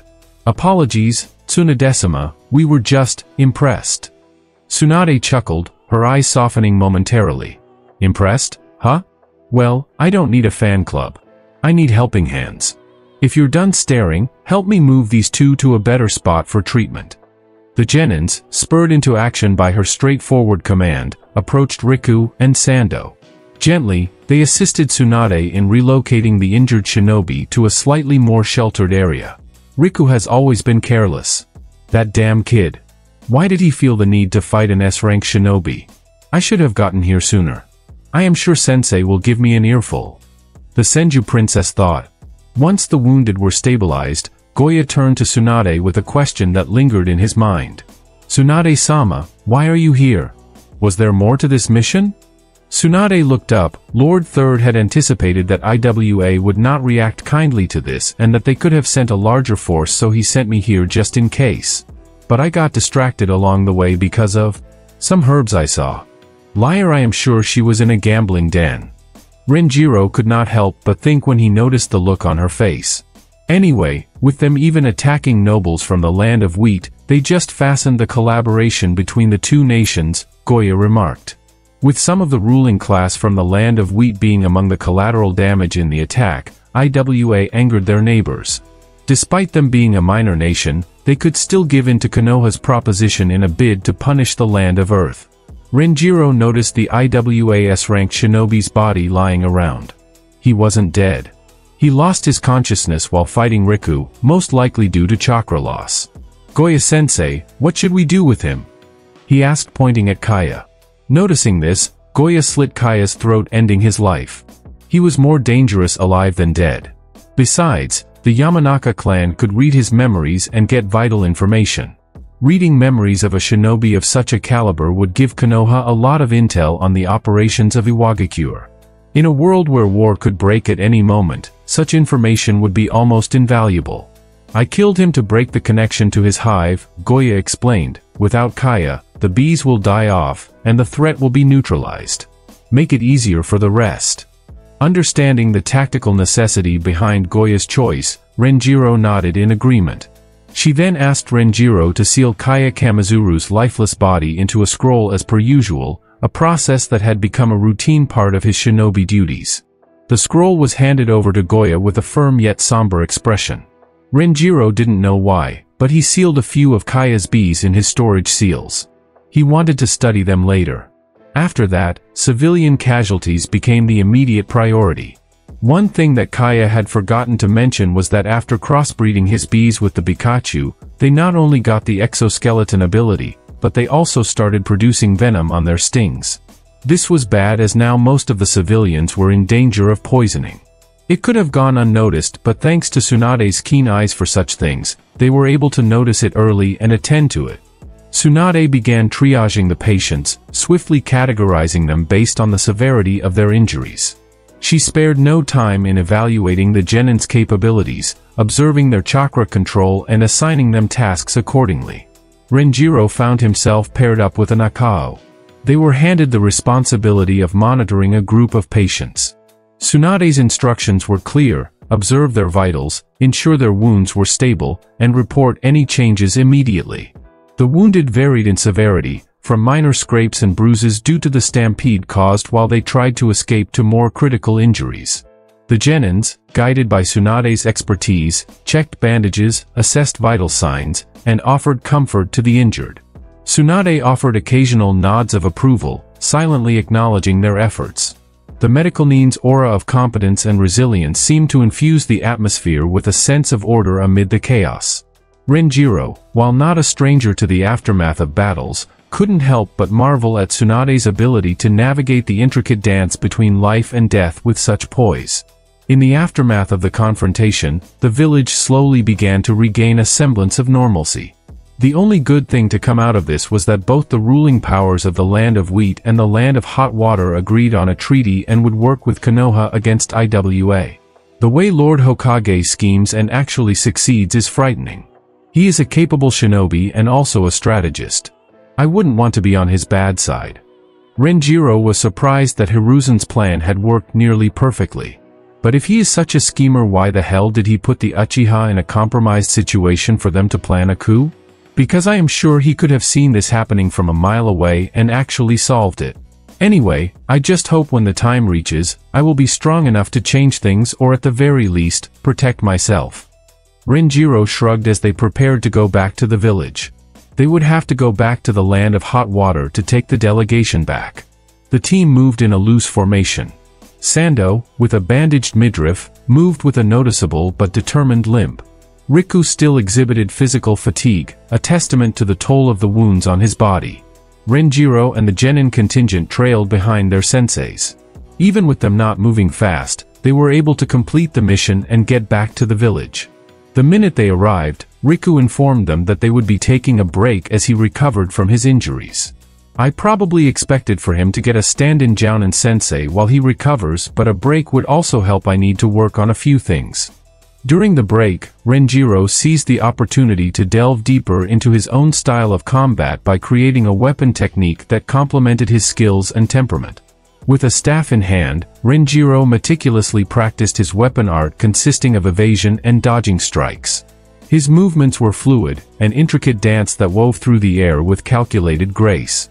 The staff became an extension of his body, a tool not just for striking but also for deflecting and parrying. The style Renjiro crafted was rooted in agility and adaptability. He focused on swift footwork, allowing him to seamlessly navigate the battlefield, avoiding attacks with minimal effort. Each step, each twist of the staff, was a manifestation of his intent to master the finesse of evasion. He explored the possibilities of redirection and counterattacks, turning the basic staff into an instrument of defense and offense. The simplicity of evasion, the art of avoiding conflict as much as engaging in it, formed the backbone of his newly forged style. He would have loved to explore more offense capabilities of his weapon but he didn't due to the lack of poison and a perfect genjutsu to use along with the staff. This is frustrating. If I don't get a perfect genjutsu fit for this, then I will have to create one for myself. But that is a tall order because I don't even know how to create my own ninjutsu. At least not yet. Maybe I should try and alter some genjutsu? Luckily for him, Miwa was around and he consulted her for some advice. Under her guidance, he delved into the arsenal of genjutsu techniques that the Uchiha bloodline offered. The two fundamental techniques, genjutsu, Sharingan and Magen, Kaiten Chi-Ten, demonic illusion, mirror heaven and earth change, became the focal points of his study. As Renjiro practiced the basic genjutsu of his Sharingan, Miwa's instructions echoed in his mind. By establishing eye contact with an opponent, the genjutsu would activate causing momentary lapses in consciousness or inducing temporary paralysis. The Magen, Kaiten Chi-Ten, a more advanced technique, required Renjiro to harness the copy and counter abilities of the Sharingan. It was a delicate interplay of perception and manipulation, where the user reversed an incoming genjutsu, turning the tables on the original caster. Hmm, it's basically an Uno reverse card for anyone trying to trap me in a genjutsu. The concept fascinated Renjiro, but the complexity of execution meant that it would be hard to master.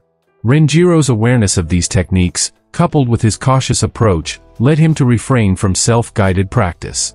The potential risks associated with unsupervised attempts at such advanced techniques were evident.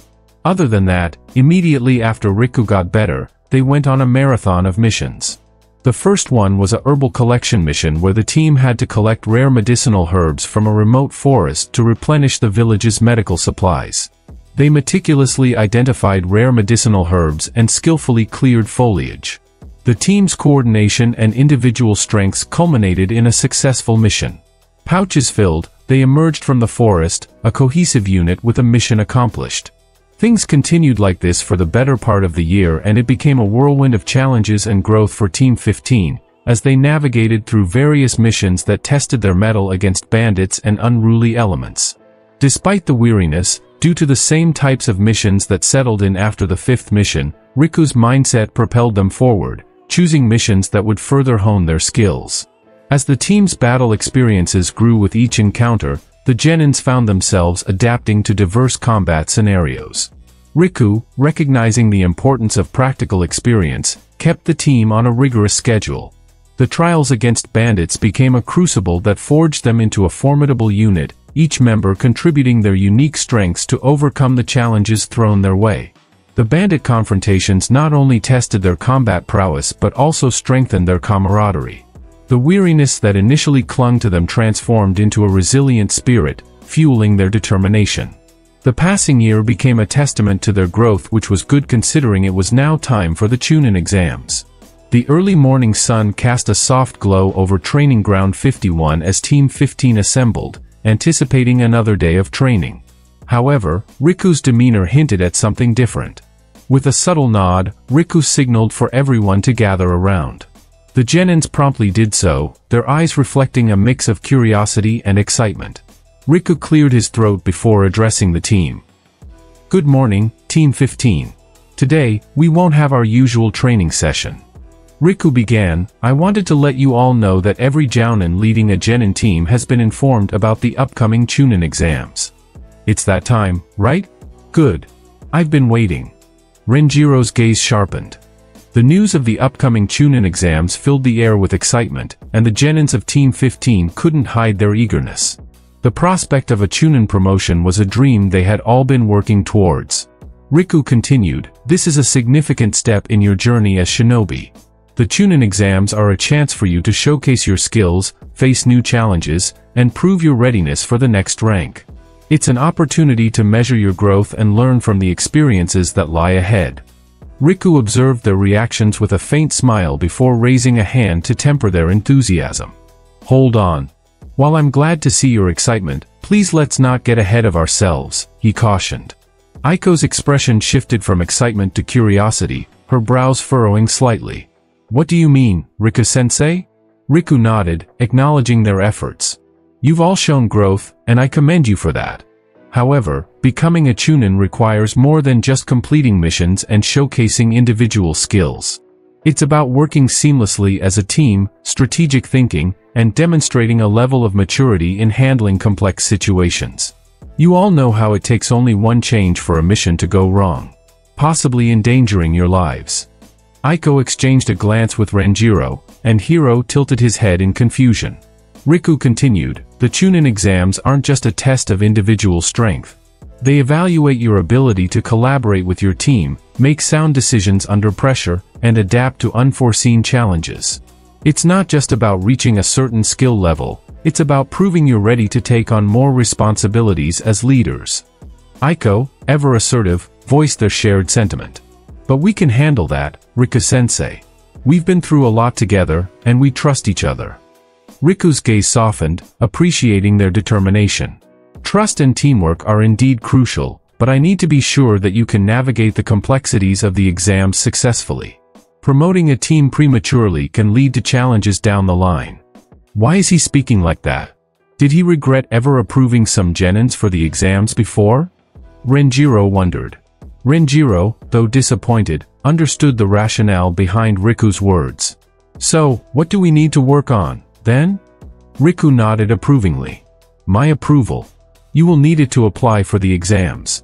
I need you guys to prove to me that you are qualified to become Chunins or at least partake in the exams. It is as simple as that. I don't like this at all. Renjiro did not know why, but after Riku finished his statement, he got an ominous feeling. Especially, after seeing the glint in Riku's eyes. Riku crossed his arms and addressed his genins, I can see the skepticism on your faces. I know it's hard, but participating in the Chunin exams is no small feat if you want my approval, you'll have to work for it. How do we do that? Renjiro asked. Just defeating me in combat. A 3 versus 1. You all against me.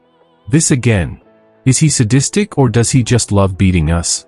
Renjiro was not the only one think this, both Aiko and Hiro had similar thoughts. It was to the extent that they couldn't hide it by their facial expressions. It's not about defeating me in the traditional sense. It's about showing me that you can apply what you've learned, work together as a team, and face adversity. If you can do that, then you'll have my approval for the Chunin exams. Wow! Simple as that. When our training session fights are 30 to 12, he has close to thrice our number of wins. Renjiro sarcastically thought. Riku, noticing the trepidation in his Genin team, decided to alleviate their concerns. He raised a reassuring hand and said, Don't worry.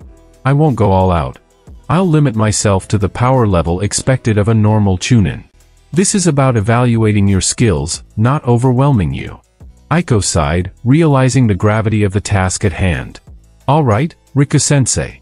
We'll do our best. Riku smiled, that's the spirit. We'll start in a few minutes. Use the time to strategize and prepare. Remember, it's not about winning or losing, it's about showing me your growth as a team. Riku then reached into his pouch, retrieving a small storage scroll. He unfurled it, retrieving three smooth stones from the storage scroll. They're similar to the ones he used in the first test he gave us. Renjiro remarked upon seeing the similar stones. He could still sense their similarities. These stones will be our markers, Riku explained. Riku, observing the recognition in their eyes, smiled knowingly. Yes, you've used these stones before, but this time, the objective is different. Instead of protecting them, you'll have to get all three from me. It's a game of offense and strategy. Use your skills wisely. Renjiro nodded, his mind already processing the tactical implications. Got it, Riku-sensei. As the Genins absorbed the challenge set by Riku, the realization that time was a factor crept in. Riku, with a stern yet encouraging tone, informed them, you have until the next sunrise to complete this objective. It's not just about getting the stones, it's about doing so within a time frame. The Chunin exams demand not just skill but efficiency. Use the time wisely. Immediately after that, Riku gave them time to strategize. After some time, Riku came back holding a coin aloft, ready to signal the commencement of their test. As the coin descended, Riku's voice cut through the silence, the moment the coin hits the ground, we begin. I need to be ready to find him. I am sure he will try to flicker away. Renjiro thought as he activated his Sharingan. The coin dropped, and Renjiro reacted swiftly, his eyes trained on Riku. However, instead of flickering away, Riku executed a substitution jutsu, leaving behind a mere log in his place. Shit. Now it's going to be harder to find him. Hiro remarked, he's fast. Keep your guard up. Aiko suggested, let's spread out, but stay within sight of each other. We need to coordinate to find him quickly. Why do they always feel the need to separate? Anyway, I need to get the stones, of course, Renjiro was not pleased with the suggestion.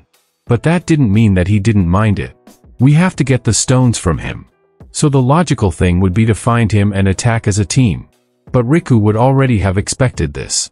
So he would probably dash, just when Renjiro was going to conclude his thought process, Riku appeared.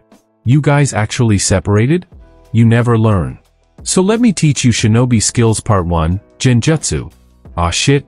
You guys actually separated? You never learn. So let me teach you Shinobi Skills Part 1, Genjutsu. Kokuangyo no Jutsu. In the blink of an eye, Riku's commanding voice echoed, resonating with the churning darkness that quickly enveloped Renjiro. The world around him plunged into an abyss of absolute blackness, robbing him of any visual cues. The technique, known as Kokuangyo no Jutsu, lived up to its name, the Bringer of Darkness. Riku's voice echoed from the shadows, a disembodied presence in the pitch-black realm. In darkness, your sight becomes useless, Renjiro. Let's see how you fare when the world itself conspires against you. What is this? I can't see anything. Renjiro strained his senses, attempting to pierce through the absolute absence of light. Every movement felt like wading through a sea of obsidian, and the oppressive silence heightened his vulnerability. This darkness is different. I can feel it as if it's not just an absence of light, but a tangible presence surrounding me. Without warning, strikes came from seemingly random directions. Riku, concealed within the Stygian void, exploited the sensory deprivation to launch a barrage of attacks. Renjiro, unable to pinpoint the source, resorted to instinctual evasion. His limbs moved defensively, desperately attempting to fend off the unseen onslaught. Riku's voice, now a whisper mingling with the shadows, taunted Renjiro.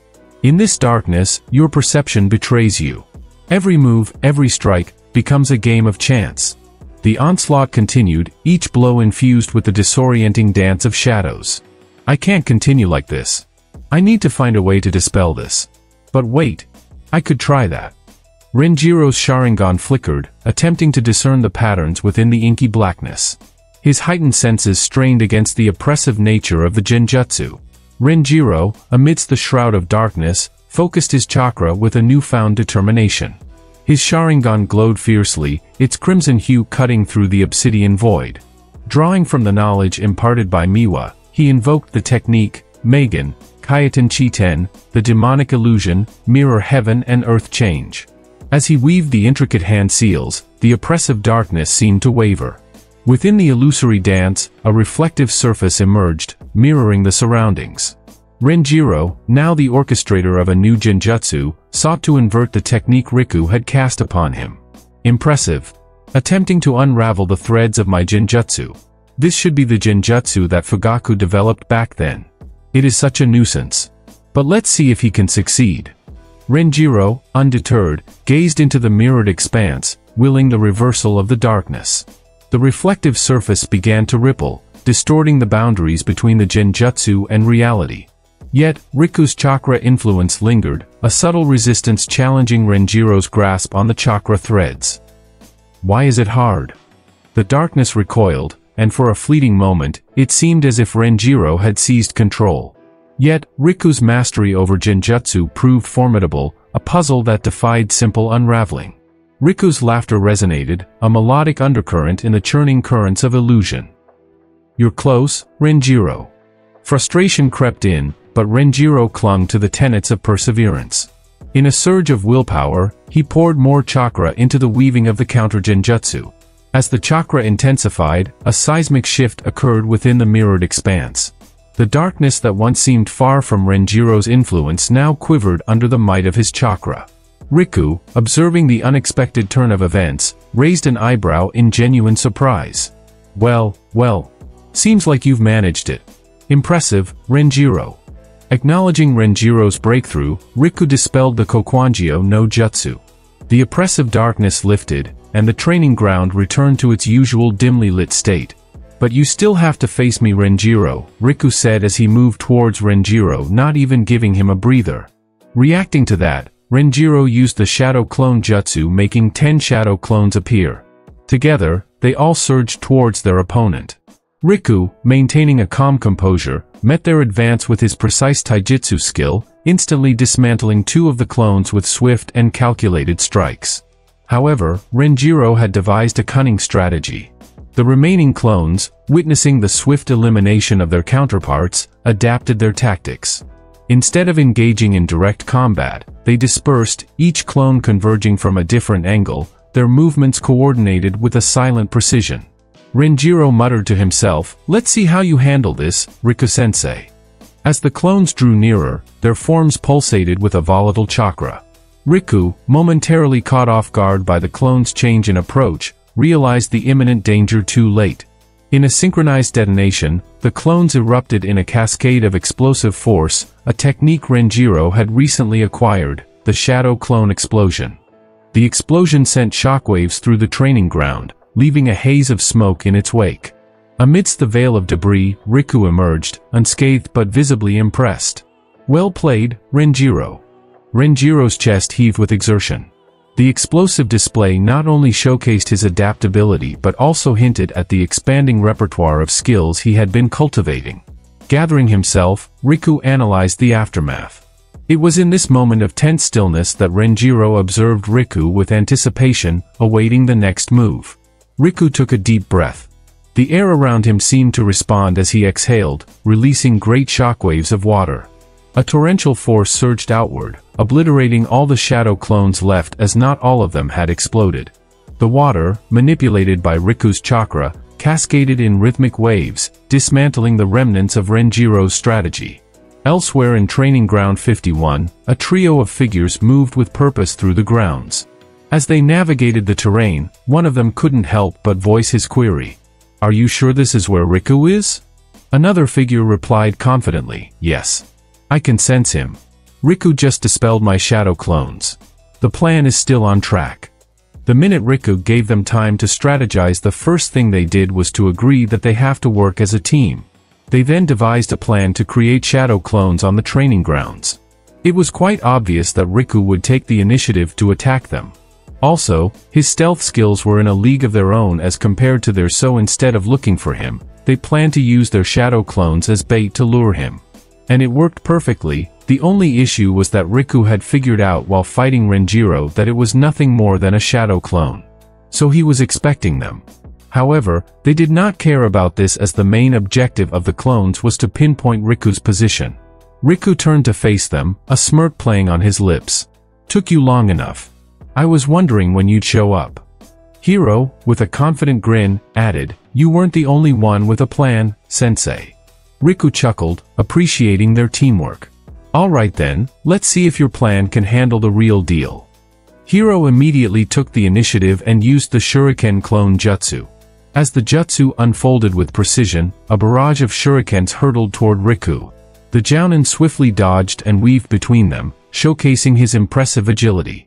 As Riku avoided the shurikens, the genin seized the opportunity, and with a flicker, they appeared in front of Riku. The swift transition caught Riku off guard, and the fight branched off into a rapid taijutsu assault. Hiro's saber clashed with Riku's swift taijutsu moves, and Renjiro, recognizing the need to go all out, activated his Sharingan. Aiko, on the other hand, attempted to use Genjutsu, but it proved ineffective against Riku's experienced defenses. The intense fight reached a momentary stalemate when Riku, with a smirk, declared, Shinobi Skills 3 Ninjutsu. However, before he could unleash any jutsu, his observant gaze caught the flickering movements of his genins a distance away. His eyes widened when his gaze moved into their hands. They were all holding the stones in their hands. Riku's gaze moved over to his pouch where he was sure the stones were only to find it empty. Riku's eyes widened when his gaze moved into his genin's hands. They were all holding the stones in their hands. Riku's gaze moved over to his pouch, where he was sure the stones were, only to find it empty. When did they get it? The surprise etched across Riku's face was palpable, his eyes narrowing as he surveyed the empty pouch. The element of surprise had been masterfully executed, catching even the seasoned Jounin off guard. Aiko couldn't help but smirk. It seems, Sensei, that we've managed to learn a thing or two from your previous tests. Renjiro added, you taught us to expect the unexpected. It's only fair that we turn the tables every once in a while. Riku, recovering from his initial surprise, couldn't help but crack a smile. Well played, guys. You've earned my approval for the Chunin exams. It seemed that Riku had finally caught on to what his genins had done to retrieve the three stones from him. Of course, he had earlier told them where the stones would be, to make things easier for them. Their only challenge was how to get them from him. Back when the challenge was set by Riku, the members of Team 15 had begun brainstorming strategies to outsmart their Jounin sensei. Hiro proposed, why don't we just go for a frontal assault? We can overwhelm him with our combined strength. Aiko shook her head. Hiro, even if Sensei holds back, there's no way we can defeat him in a direct confrontation. We already tried that during our training and it didn't end well. We need a plan that plays to our strengths. Renjiro chimed in, what if we use Genjutsu? We could confuse him and make our move. Aiko raised an eyebrow, Riku is no slouch when it comes to Genjutsu. He'd see through it immediately, Renjiro. Renjiro nodded, acknowledging the point. True, but what if we use a layered approach? Create a genjutsu that's a distraction while we execute our real plan. Hiro scratched his head, intrigued but unsure. How do we even make him fall for the distraction? He's more experienced than us when it comes to such things. Renjiro offered a sly smile. That's where the beauty lies. We'll make it so convincing that he won't suspect it's a setup. Renjiro, sensing the doubts lingering in the minds of his teammates, added. Look, guys, Riku might know about our abilities, but he has no idea about my genjutsu practice. He's aware of our strengths, but he won't see this coming. I am not quite a master at it, but I can give it a try. Hiro crossed his arms, but won't he expect us to use genjutsu? I mean, it's a bit too obvious, isn't it? Renjiro grinned, his Sharingan reflecting a glint of mischief. That's precisely the point. Riku will be ready for genjutsu, but not from me. He'll be expecting it from Aiko. We'll use that expectation to our advantage. Aiko, catching on to Renjiro's plan, nodded in agreement. He's right. Riku knows my expertise lies in genjutsu. If we catch him off guard with Renjiro's skills, it might just work. Hiro, though still uncertain, shrugged and conceded, alright, let's give it a shot. Alright, so Aiko will initiate her genjutsu as a distraction. Then, when Riku is focused on countering her genjutsu, I will slip in with my own. It has to be subtle and something he won't notice immediately. Aiko nodded. Got it. I'll make it not too obvious, so he won't even realize it's happening until it's too late. As the team finalized their plan, Hiro raised an eyebrow. So, what's our plan B? Because this seems a bit too risky, and I wasn't even aware Renjiro was practicing genjutsu. Renjiro glanced at Hiro, his expression serious. We don't have a plan B. This is it, do or die. If we fail to pull this off, we're not participating in the Chunin exams. The stakes are high, Hiro. Hiro let out a sigh, realizing the gravity of the situation. Well, I guess we're all in then. With the plan set, they dispersed to their positions, each mentally preparing for the challenge that lay ahead. Meanwhile, Renjiro focused on the details of his genjutsu, aiming for a level of finesse that would catch even a seasoned Jounin off guard. Which Genjutsu should I use? It can't be too flashy, otherwise our plan will fall like a house of cards. Right. I can use that. Fortunately for them, their plan worked like clockwork. The element of surprise helped Renjiro slip into his genjutsu dulling Riku's senses and securing the three stones from him. The genjutsu Renjiro used was the very first one he learned, the demonic illusion, false surroundings technique. It was the one Aiko had used on him. Renjiro did not go all out with it as he had to ensure Riku didn't get wind of it. Back to the present, Riku, who had been impressed by their ingenuity, approached them with a proud smile. You've earned my approval for the Chunin exams. Take this opportunity seriously and take care of yourselves during the exams. Right now, the village needs every capable ninja it can get, and your promotion will be a significant contribution. Riku continued, remember, being a Chunin comes with more responsibilities. Train hard and make the village proud. Good luck in the exams, and make the most out of this chance. With those words of encouragement, Riku left them to contemplate the journey ahead. Since it was well into the evening they decided to meet up the next day to apply for the Chunin exams. The sun had just begun to cast its morning glow over the village as Renjiro, Aiko, and Hiro approached the Hokage building.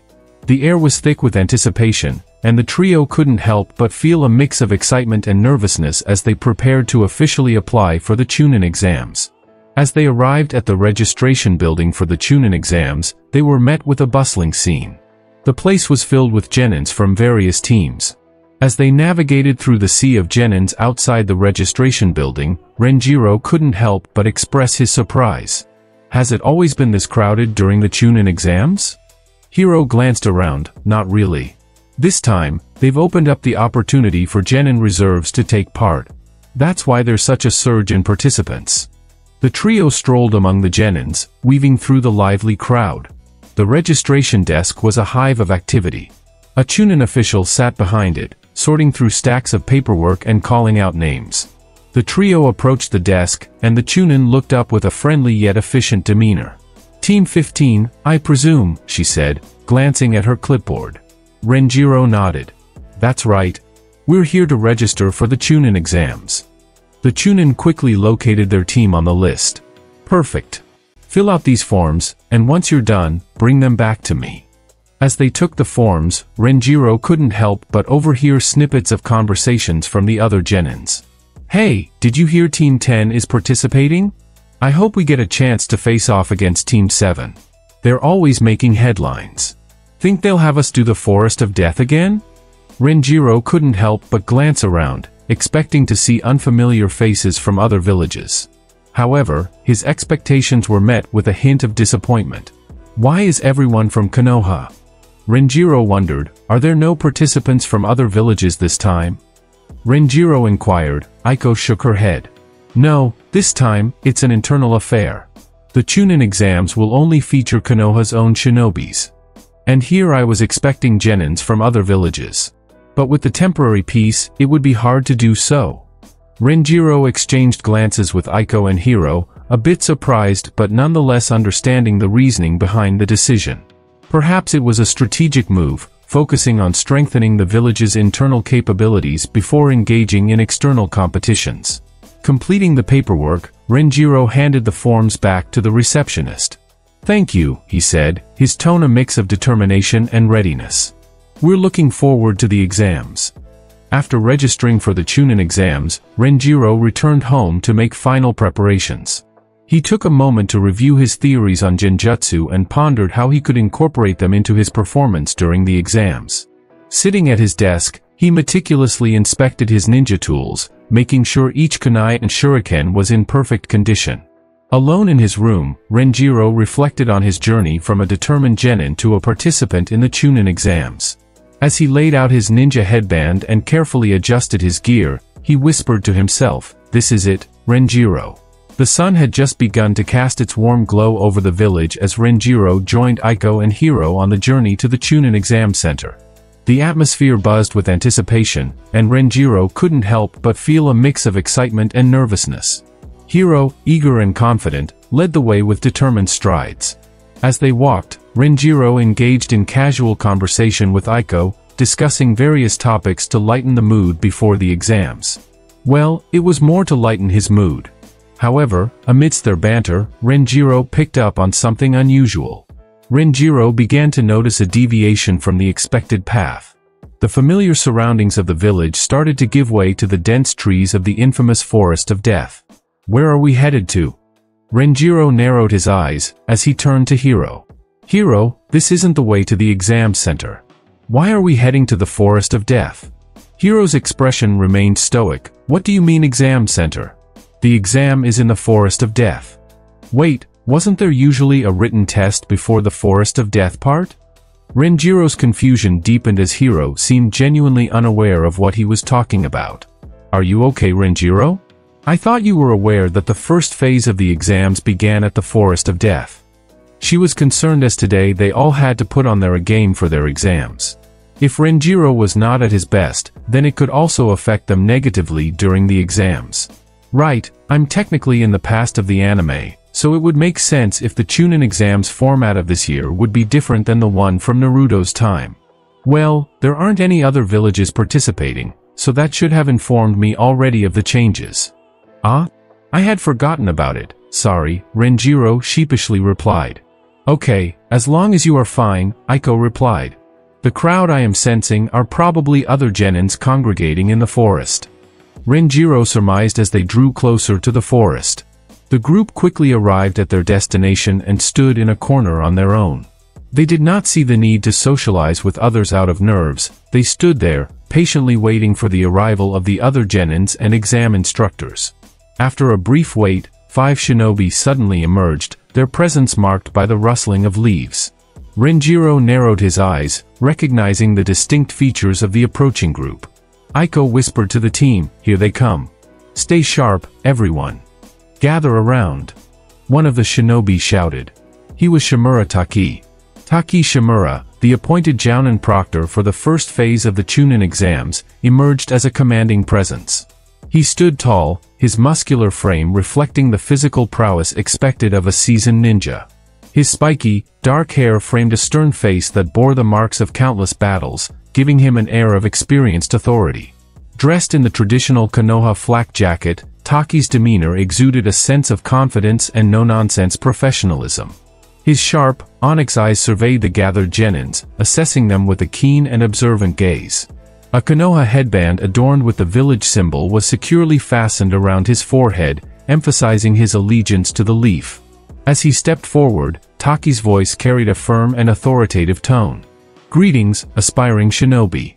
I am Taki Shimura, a jounin here in Konoha and your proctor for this phase of the Chunin exams. Pay close attention to the rules, and remember, only those who adapt and persevere will proceed to the next stage. His words, delivered with a weight that spoke of experience, resonated within the clearing. Taki continued, beginning the process of outlining the challenges that awaited the candidates in the Forest of Death. As Taki Shimura outlined the details of the Chunin exam's first phase, the tension among the genin grew palpable. In this phase, each team will be given one of two scrolls, the Heaven Scroll or the Earth Scroll. Your objective is to safeguard your team scroll while attempting to steal the opposing team scroll. However, the catch is that to pass, your team must possess both scrolls by the time you reach the finish line. The forest is vast, and the challenges are many. Use your wits and teamwork wisely. He paused, surveying the sea of determined faces before him. Remember, not all encounters will be hostile. Some teams might be willing to cooperate, while others will see you as competition. Adaptability is key. And keep in mind that not all threats will come from fellow Genins, the forest itself harbors dangers. Exercise caution, trust your teammates, and do whatever it takes to ensure both scrolls are in your possession when you reach the finish line, Taki emphasized. You have one week to navigate through the forest of death and secure both scrolls, Taki explained, his voice cutting through the air. During this time, you may encounter other Genin teams. Engaging in battles is allowed, but remember, this is not a fight to the death. Killing is strictly prohibited. We don't want to lose valuable shinobi over a competition. Use your ninja skills wisely, and may the best team succeed. The gravity of the situation sank in as Genin teams exchanged glances, sizing up potential allies or threats. The vastness of the forest and the multitude of challenges it held became more apparent as they prepared to step into the unknown. Taki's final words resonated, survival is not just about defeating others, it's about overcoming the obstacles within the forest. Make alliances if needed, but remember, only those with both scrolls at the finish line will proceed to the next phase. Best of luck, and may your teamwork shine. He glanced at the array of eager genin. Now, the scrolls will be distributed randomly, so make your way to the designated starting point and await further instructions. As the genin teams lined up to receive their scrolls, the atmosphere was charged with anticipation. Renjiro, Aiko, and Hiro stood together, waiting for their turn. Taki Shimura and the other instructors observed the teams, ready to hand out the scrolls.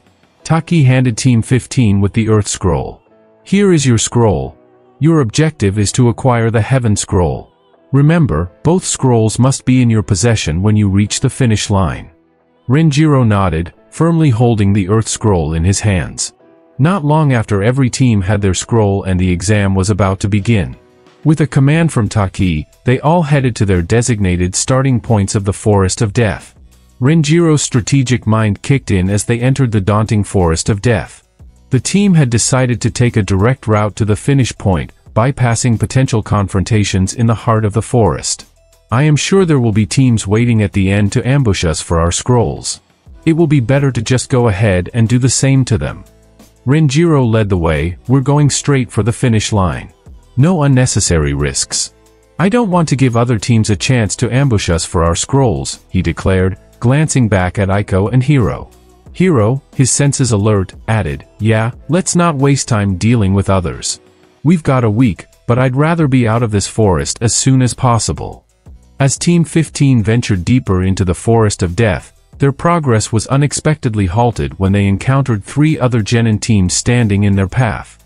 The coincidence was uncanny, all three teams seemed to have the same goal in mind, acquiring an Earth Scroll.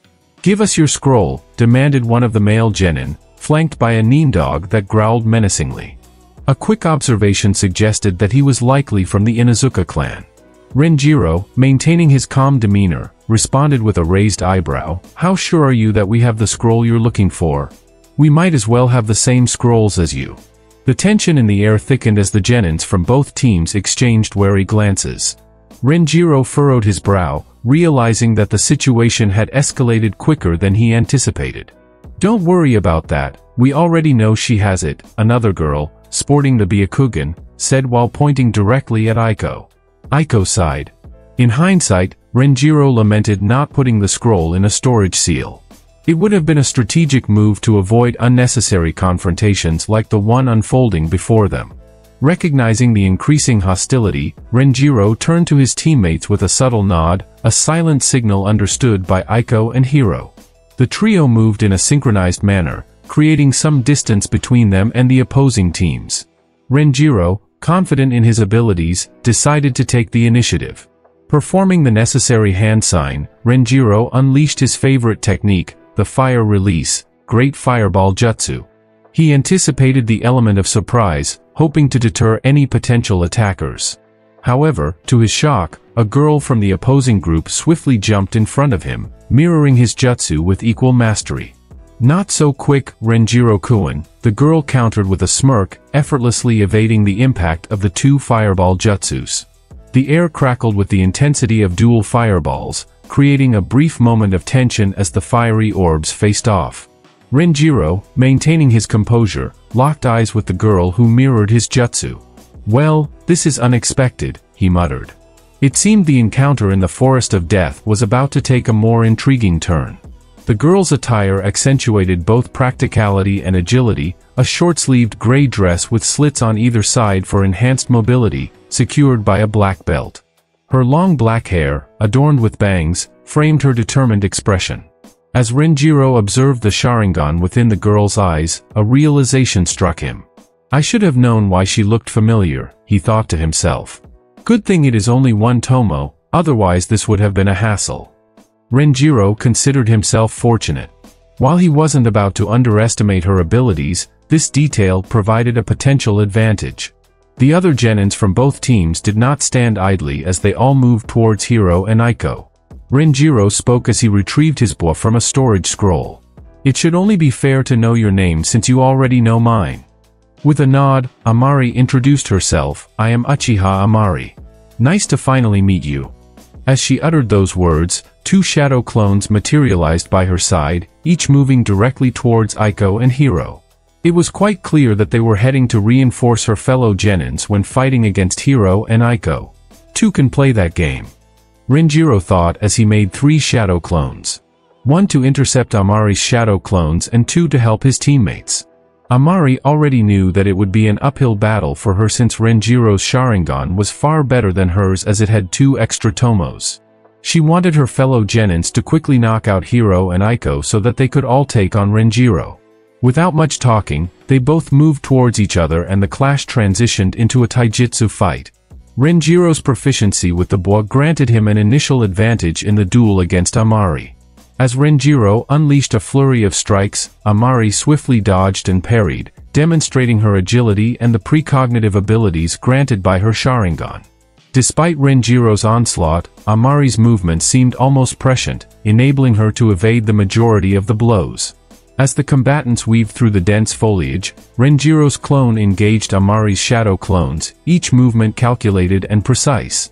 You're skilled, Amari, but let's see how you handle this, he exclaimed as his Sharingan glowed momentarily as he unleashed his Sharingan's Genjutsu, hoping to gain more advantage in the physical exchange. Amari, however, was quick to react. She adeptly disrupted her chakra flow, countering the Genjutsu. In a bid to turn the tide, Amari swiftly performed a set of hand signs, her Sharingan glowing intensely as she executed the windmill triple blade technique. Three windmill shuriken spun in the air, their blades glinting dangerously as they sailed toward Renjiro. The wires attached to the shuriken trailed behind, controlled expertly by Amari. Renjiro's keen perception allowed him to anticipate the incoming threat, but the precision of Amari's technique made it challenging to evade entirely.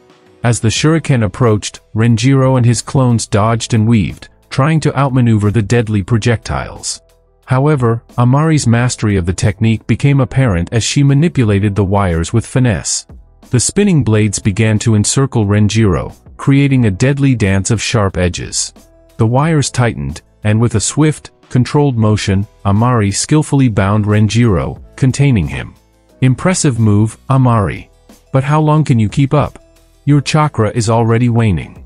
As the windmill shuriken returned to her hand, Amari found herself ensnared in Renjiro's cunning strategy. The disruptive nature of her chakra because of countering the genjutsu, combined with the pressure of the ongoing taijutsu engagement, made it increasingly challenging for her to maintain her focus. She eventually fell into Renjiro's genjutsu. Amari struggled against the genjutsu, her Sharingan attempting to pierce through the deceptive technique. However, Renjiro's skill in Genjutsu proved formidable, and despite her efforts, Amari succumbed to the mental assault. As the Genjutsu took effect, Amari's movements faltered, and her eyes lost as she lost consciousness. Renjiro observed the outcome, surprised at how swiftly the confrontation had concluded. Well, that was easier than I expected but I should have settled this sooner, he remarked. Amari should have been a genin for far longer than he was, so he expected more from her. Renjiro quickly approached Amari's unconscious form and placed a seal on her forehead, his chakra drain seal. It was a precautionary measure to suppress any potential threat should she regain consciousness ahead of schedule. Satisfied with his preparations, he turned his attention back to Aiko and Hiro. Surprisingly, Hiro had managed to deal with his opponents efficiently. Aiko, on the other hand, had effectively ensnared a group of genins in a genjutsu, preventing them from interfering. The other Genins they fought had nothing special other than the fact that besides the Hyuga girl and the Inuzuka boy, there was a Sarutobi and Shimura boy and a Senju girl among them. Renjiro took a moment to assess the situation, great job, both of you. Looks like we won't have much trouble collecting the scrolls we need. Together, they began searching through the possessions of the unconscious Genins. After a brief but thorough search, they discovered three heaven scrolls. Two were neatly stored in storage scrolls, while the third was clutched by the Inuzuka boy who had initially confronted them. Renjiro eyed the scrolls they had gathered. What do you think, should we take all of them? he suggested. Renjiro was petty enough to take all the scrolls as he thought that it was only fair to prepare to lose your scroll if you were ready to steal scrolls belonging to others. However, both Hiro and Aiko seemed to disagree. Hiro shook his head, that might be pushing it. Let's not stoop to their level. We'll take the one we found on the Inuzuka and leave the rest. Aiko nodded in agreement, I think Hiro's right. We can't control what others do, but we can choose our own path. Taking all the scrolls would be too much. Renjiro sighed, fine, let's do it your way. We'll stick to the one scroll we found, he conceded. As the team departed from the encounter with the other genin groups, Renjiro meticulously removed the chakra drain seals he had placed on the unconscious foes. With the seals taken care of, the genin trio hastened their pace towards the finish line of the Forest of Death. The finish point of the first phase of the Chunin exams was a towering structure in the middle of the Forest of Death. Tall trees surrounded the tower, their branches creating a natural fortress that concealed its entry points. The tower was not just a structure but also a testament to the village's history. Originally, it served as the Hokage's building when the Hidden Leaf was founded. The stones that composed its sturdy walls had witnessed the village's growth, evolution, and the rise of its legendary shinobis. Surrounding the tower was the forest which was the handiwork of the first Hokage, Senju Hashirama. The great leader and founder of Konoha had crafted this forest with his unparalleled wood release. The creation of the forest was deeply linked to an attempt on the first Hokage's life. It was recorded that an assassin, dispatched from the distant village hidden in the waterfalls, Takigakure, had targeted Hashirama. Remarkably, this would-be assassin stood alone as the only individual to survive an attempt on Hashirama's life. In the aftermath of the attempted assassination, Konoha recognized the strategic value of this now forested expanse. The village intentionally cultivated the area, turning it into a breeding ground for various beasts. These creatures served as an additional layer of security, enhancing the natural deterrent provided by the dense foliage. Following the demise of the first and second Hokages, the Hokage's office underwent a significant relocation. It moved from the tower to a more central location within the village. This strategic shift aimed to enhance administrative efficiency and accessibility, placing the seat of the village leader closer to the heart of Konoha. The vacated tower found a new purpose. It became the residence of the Jinchuriki, beginning with Senju Mito. Over the years, the tower continued to serve as the dwelling place of the Jinchuriki as Uzumaki Kushina, the current Jinchuriki also resided within its walls. However, a pivotal incident altered the tower's fate once again. The kidnapping of Uzumaki Kushina prompted the village to reconsider its use. Clearly, it was no longer safe to house any of the village's assets. In the aftermath, the tower was reassigned, finding a new role as a venue for the Chunin exams. The Forest of Death now played host to a different kind of challenge, the proving ground for the next generation of shinobi during the Chunin exams. With it as the finish point, the Genins had to enter the Forest of Death through the numerous entrances scattered in the forest. This was to ensure they didn't run into each other immediately after the exam started. The case between Team 15 and the three Genin teams was just an exception. A mere stroke of luck, or lack of it, for the Genin teams. Inside the tower, the atmosphere buzzed with tension as dawn painted the sky. A group of seasoned shinobis, responsible for monitoring the ongoing Chunin exams, gathered to assess the progress of the participating genins. At the forefront of this operation was Shimura Taki, the appointed exam proctor, whose experienced gaze scrutinized the unfolding events. As the third day of the Chunin exams dawned, Taki leaned forward, his focus intense. He turned to a fellow shinobi holding a clipboard and requested a detailed rundown of the current status. The shinobi scanned the gathered information, eyes moving swiftly across the entries. After a moment, she raised her eyes to meet Taki's gaze. Proctor Taki, as of now, only one team has successfully arrived at the tower. The others are still locked in battles for the scrolls. Within two days? That must be a new record. Taki wondered. The shinobi holding the clipboard reported to Taki with information relayed by the sensor unit deployed within the Forest of Death. The periodic updates provided crucial insights into the Genin's progress and the unfolding dynamics of the Chunin exams. Keep a close eye on them. If there are any changes in their status or movements, notify me immediately. We need to stay informed about all teams during this critical phase of the exams, he instructed. With that, the sensor unit continued to monitor the situation at Forest of Death. Back at the Forest of Death, Team 15 had been venturing through the dense and treacherous landscape of the forest. Having covered a substantial distance from their initial entry point, the team found themselves drawing nearer to the tower. As the Genins continued their trek through the Forest of Death, Luck seemed to be on their side as they managed to avoid encountering other Genin teams. The dense foliage served as a great backdrop and concealed them from potential adversaries, allowing the team to navigate the terrain without unnecessary conflicts. However, surviving in the forest presented its own set of challenges. The team had packed rations to sustain them, but they didn't pack enough. A rookie mistake. The team members had to rely on their training and instincts to discern edible plants from potentially harmful ones, to supplement their sustenance during this phase of the Chunin exams. Moreover, the wilderness also posed a formidable environment. All in all, they were in a race against time for their survival. As Renjiro rose from his makeshift bed of leaves and twigs, the soft murmur of the forest greeted him. The rustling leaves and distant calls of unseen creatures blended into a symphony that underscored the serenity of the early morning. Morning, Renjiro, Hiro yawned, stretching his arms wide, the lingering traces of sleep still evident in his voice. Aiko, nearby, sat up and rubbed her eyes, a faint smile forming on her lips. Good morning, we should get ready to head out. Renjiro, still shaking off the last remnants of sleep, managed a half-smile. Little did they know, the tranquility of the early morning would soon give way to a cascade of unforeseen events, setting the stage for a day that would test their mettle in ways they couldn't yet fathom. Renjiro, feeling the need to relieve himself, ventured to a nearby spot for privacy as he answered nature calls. As he went about his business, the soothing sounds of nature surrounded him. However, his tranquil moment was abruptly interrupted by Hiro's sudden approach. Hiro, what's the hurry? Renjiro called out, a mix of curiosity and concern in his voice. Hiro, with a sense of urgency, zoomed towards Renjiro, his expression that of fear. It was evident that something significant had transpired.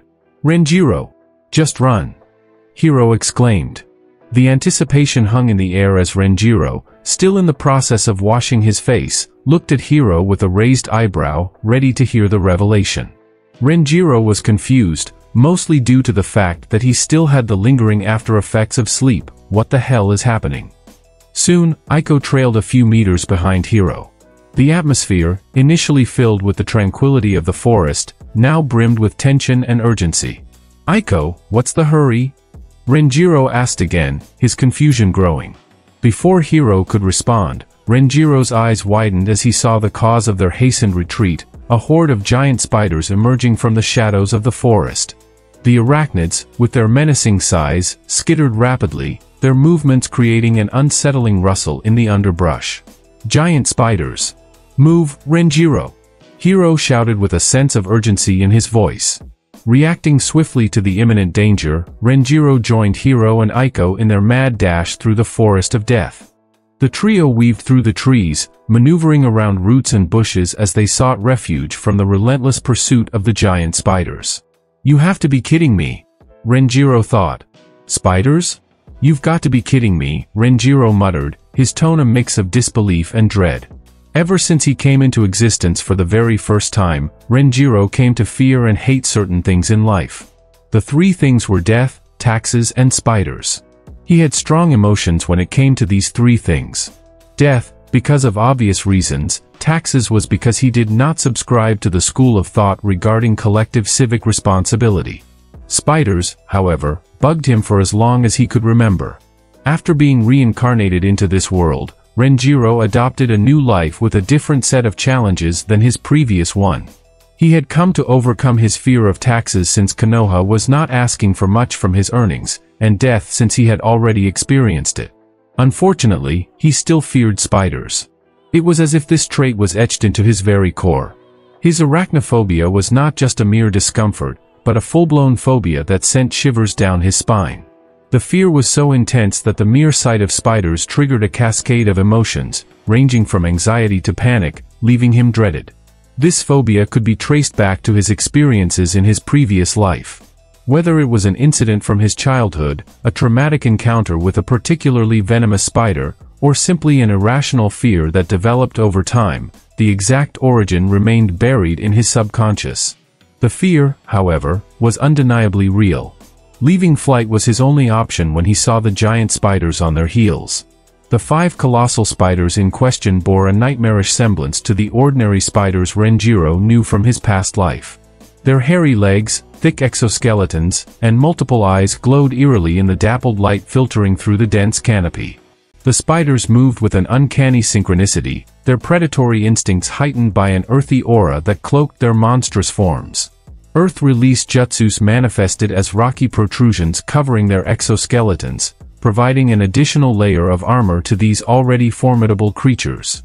As they closed in, the forest floor quivered beneath the weight of their massive bodies. Each spider's legs, adorned with jagged rocks and sharp edges, served as both a means of mobility and lethal weaponry. Their eyes, multiple and unblinking, gleamed with otherworldly intelligence. Is this really worth it? His phobia was getting the better of him as he even considered leaving the test. That was how bad it was for him. However, just as quick as the thought came, Renjiro quickly shut it down.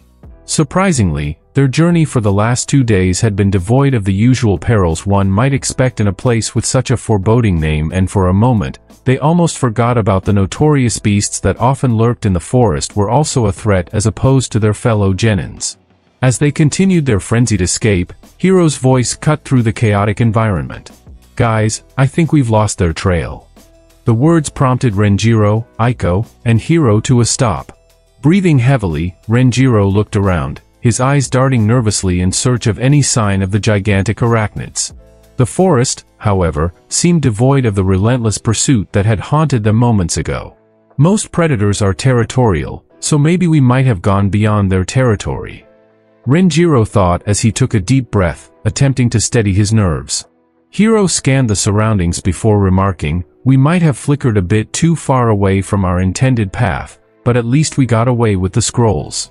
That's a silver lining, I guess. Aiko suddenly went pale.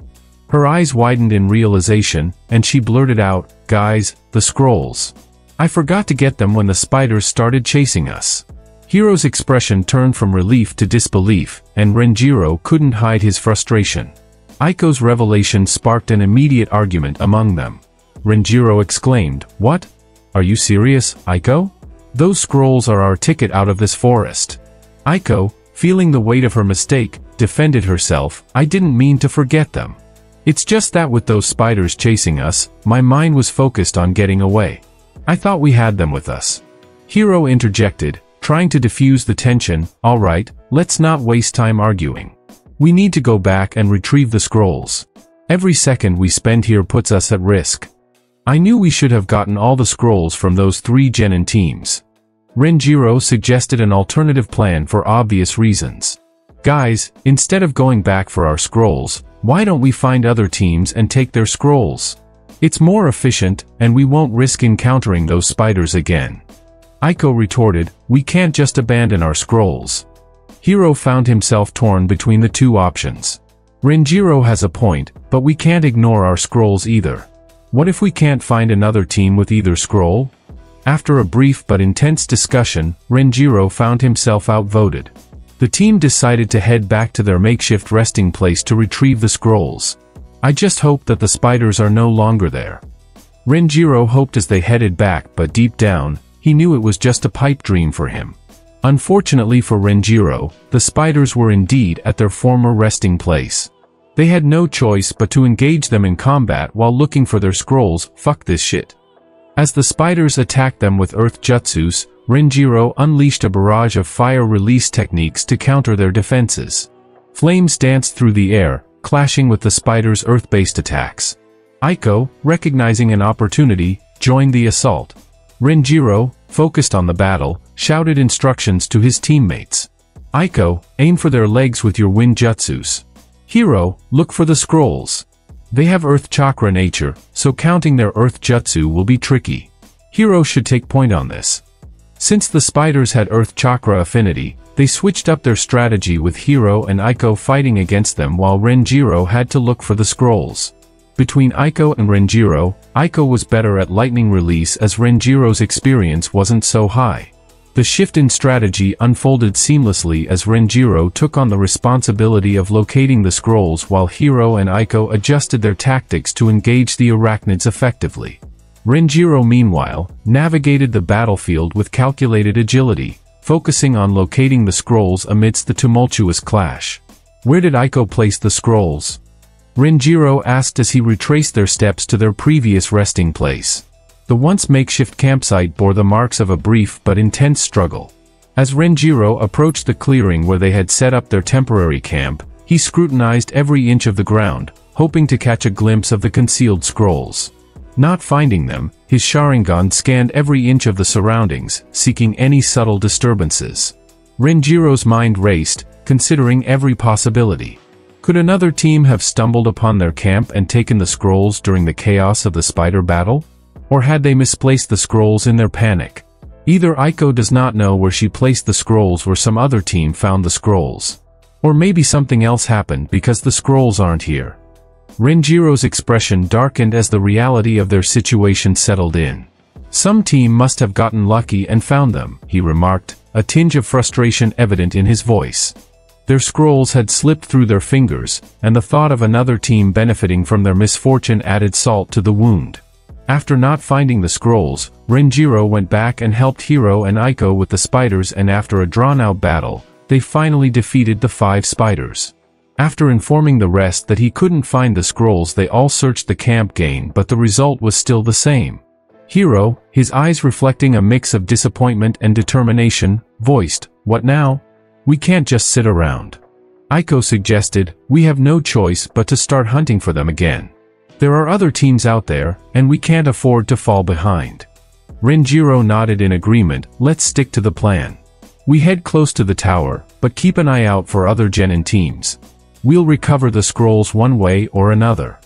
With renewed resolve, the trio set off once more.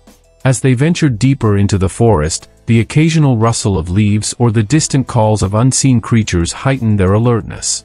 The days stretched on the trio, determined to recover the scrolls and make it to the tower, relentlessly pursued other Genin teams. However, fortune seemed to elude them, as every encounter ended in disappointment. Hiro voiced his frustration. This is getting us nowhere. How are we supposed to find the scrolls if everyone's in the same boat? Aiko added, we'll have to be patient. There's a lot of ground to cover. Three days had passed in this frustrating cycle of pursuit and disappointment. The lack of scrolls among the remaining Genin teams only mirrored their plight. With the deadline quickly approaching, they decided to head closer to the tower to ambush teams planning on doing so to get other scrolls. At least that way they could guarantee one or even two scrolls. As they drew near, they heard the sounds of battle. Clashes of metal and the shouts of people echoed through the forest. The scene that unfolded before them was one chaotic, a large-scale brawl unfolding among numerous genins, each vying for possession of the coveted scrolls. It is like a full-on battle royale for the scrolls. Renjiro said as he viewed what was transpired with his Sharingan. The genins exchanged surprised glances, realizing that their initial plan to ambush a team for scrolls might be more challenging than anticipated. Renjiro voiced, looks like we're not the only ones with this idea. It seems everyone is desperate for scrolls. But it is the sixth day, so it is understandable, Aiko remarked. Hiro cracked his knuckles. Doesn't matter. We'll just have to fight our way through. We need those scrolls, and we're not going home empty-handed. Team 15 advanced toward the tumultuous scene, navigating through the thick vegetation to get a clearer view of the ongoing battle. Genin teams clashed in a frenzy of jutsus, weapons, and strategic maneuvers. Renjiro, scanning the chaos, we need to find a way to get those scrolls without getting caught in the crossfire. As the Genins infiltrated the chaotic battlefield, they moved with a combination of caution and precision. Aiko whispered to Renjiro and Hiro, I've spotted a team with a scroll up ahead. They seem focused on their opponents. Now's our chance. As they neared the targeted team, Renjiro signaled for a quick and silent approach. Hiro, his muscles tensed for action, unsheathed his saber, ready to strike if the need arose. The targeted Genin team, engrossed in their battle, remained oblivious to the approaching threat. Renjiro, seizing the opportune moment, moved with swift efficiency. In a seamless motion, he reached for the scroll secured on the enemy's belts, expertly removing them. Or so it seemed as the genin noticed this. Using his Sharingan, Renjiro knocked her out before she could notify her teammates. The scroll they got was the Heaven Scroll. Now they just needed the Earth Scroll to pass the test. Since the plan worked seamlessly, they tried it again after spotting a team with the Earth Scroll. Their plan almost worked but the genin this time tried to give chase but luckily for them, they were held back by the opponents they were fighting. Their opponents did not see Renjiro, so they thought that the genin was trying to escape. Finally, Besides the whole spiders thing, it was quite easy. Targeting desperate and tired genins really worked. Renjiro thought as they made their way to the tower. They entered the tower and were greeted by the spacious interior that contrasted with the confines of the forest. The atmosphere was tense, with other genin teams scattered around, some celebrating their success, while others strategized for the upcoming phases. Renjiro approached the registration desk where Chunin exam official was overseeing the proceedings. We're here to complete the first phase. The Chunin on duty examined the scrolls and nodded, good you're the 30th team to finish the Forest of Death phase. Well done. You can proceed to the waiting area. As Team 15 entered the designated waiting area within the tower, they found themselves in the company of familiar faces.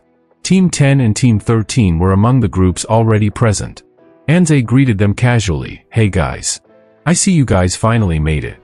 Renjiro nodded in acknowledgement, yeah, barely. How about you guys? Oh ono, from Team 10, chimed in with a smirk, we finished on the third day. The forest was a bit crowded, but we managed. Hiro, looking at the other teams, added, guess we weren't the only ones facing tough competition. Team 13, how was your experience? Cho spoke, finished on the fourth day. A few close encounters, but nothing we couldn't handle. As the teams exchanged their experiences, Aiko observed the dynamics among the genin present. Seems like everyone had their share of challenges. Renjiro couldn't help but feel a sense of pride in their team. We made it this far, and we'll keep pushing forward. Let's see what the next phase has in store for us. After a bit of banter, they headed to their rooms to rest. They were informed about the meditation rooms that had elemental chakra crystals. The crystals were said to help improve someone's chakra nature. Since it was still in the evening, they decided to head there. As the genins settled into the meditation rooms, the atmosphere exuded a calming ambience that contrasted sharply with the tension of the exams. The room provided a serene space for reflection and mental preparation. Aiko, on the other hand, approached another wind room with a sense of curiosity. It was a new experience for her, and she couldn't help but express her enthusiasm. This is amazing. I've never been in a meditation room before. What do we do? Renjiro, with a small smile, responded, just find a comfortable position, close your eyes, and focus on your breathing. Aiko nodded. She took a deep breath, allowing the tranquility of the room to envelop her. The rhythmic sounds of her breathing synchronized with the ambient stillness, creating a serene symphony. Hiro, familiar with the concept of the rooms from his clan's practices, found an earth room and began to assume a meditative posture. Renjiro, having experienced such settings in the Uchiha compound, joined a wind room without hesitation since the fire ones were crowded. The minutes passed in a tranquil haze until some hours passed. After they left their rooms, Aiko remarked, that was refreshing. I can see why you guys find this helpful. Renjiro grinned, yeah. It's a nice break from the chaos outside. With renewed clarity, Team 15 left the meditation room and headed to their rooms to rest. The following day arrived, marking the end of the first phase of the Chunin exams. All the 30 Genin teams, along with the additional four teams that joined them, gathered in the central area of the tower. The atmosphere was a mix of relief, anticipation, and the lingering tension of the upcoming phases. Hiro glanced around, sizing up the other teams that had successfully completed the first phase of the exam. Over 30 teams finished the first phase. The fact that we are that many means that they are strong genins taking the exam, he commented, his eyes scanning the group. Us coming last might actually be a good thing, people may see us as pushovers in the next phase. Renjiro thought. Aiko nodded, acknowledging the feat of the other genins. Surviving that forest is no small achievement but it's still good to see more teams make it through. Renjiro chimed in, I wonder what the next phase is going to be. How are these exams usually held? Renjiro asked because he realized that leaving things to his assumptions might not be the best thing to do. There was already one change that he did not anticipate, so there was bound to be more. Don't you live in the Uchiha clan? How do you not know about this? I only came to the village around four years ago Hiro, knowing this was not one of my priorities when I arrived here. I almost forgot. Hiro lamented and he tried his best not to make the situation more awkward. Um, they usually have two phases, the first one in the Forest of Death, and the other one in front of the village.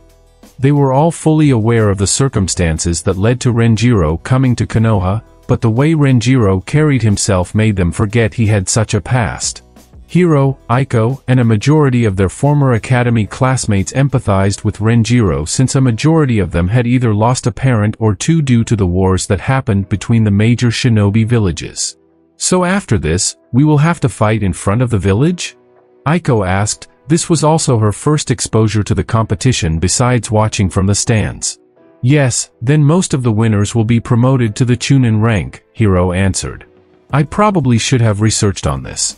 Right now nothing is assured because the future could also change because of my involvement. But with that said, I should have a week before participating in the fights. This should be enough for my training arc. Right? As they exchanged thoughts and speculations, other teams also engaged in similar conversations, sharing stories of their experiences for the next phase of the exam. In the midst of these discussions, Taki appeared, garnering the attention of the gathered genins. The man's authoritative presence hushed all the present genins. Listen up, everyone, Taki's voice resonated through the grounds. Congratulations on making it through the forest of death. However, the journey doesn't end here. The next phase awaits, but we need to narrow down our participants. The eyes focused on him, with the genins awaiting further instructions. In three days, the preliminaries for the next phase will be held at Ground 7, Taki announced. Given the number of teams, which is 34, we have about 100 participants. The preliminaries are mandatory. They serve to sift through the candidates and select the top 32 genins who will advance to the next phase. Now this is more familiar, maybe it might not exactly be as Hiro mentioned. Renjiro thought as murmurs rippled through the genins. It was clear that they were surprised by the change in the normal schedule of the exams.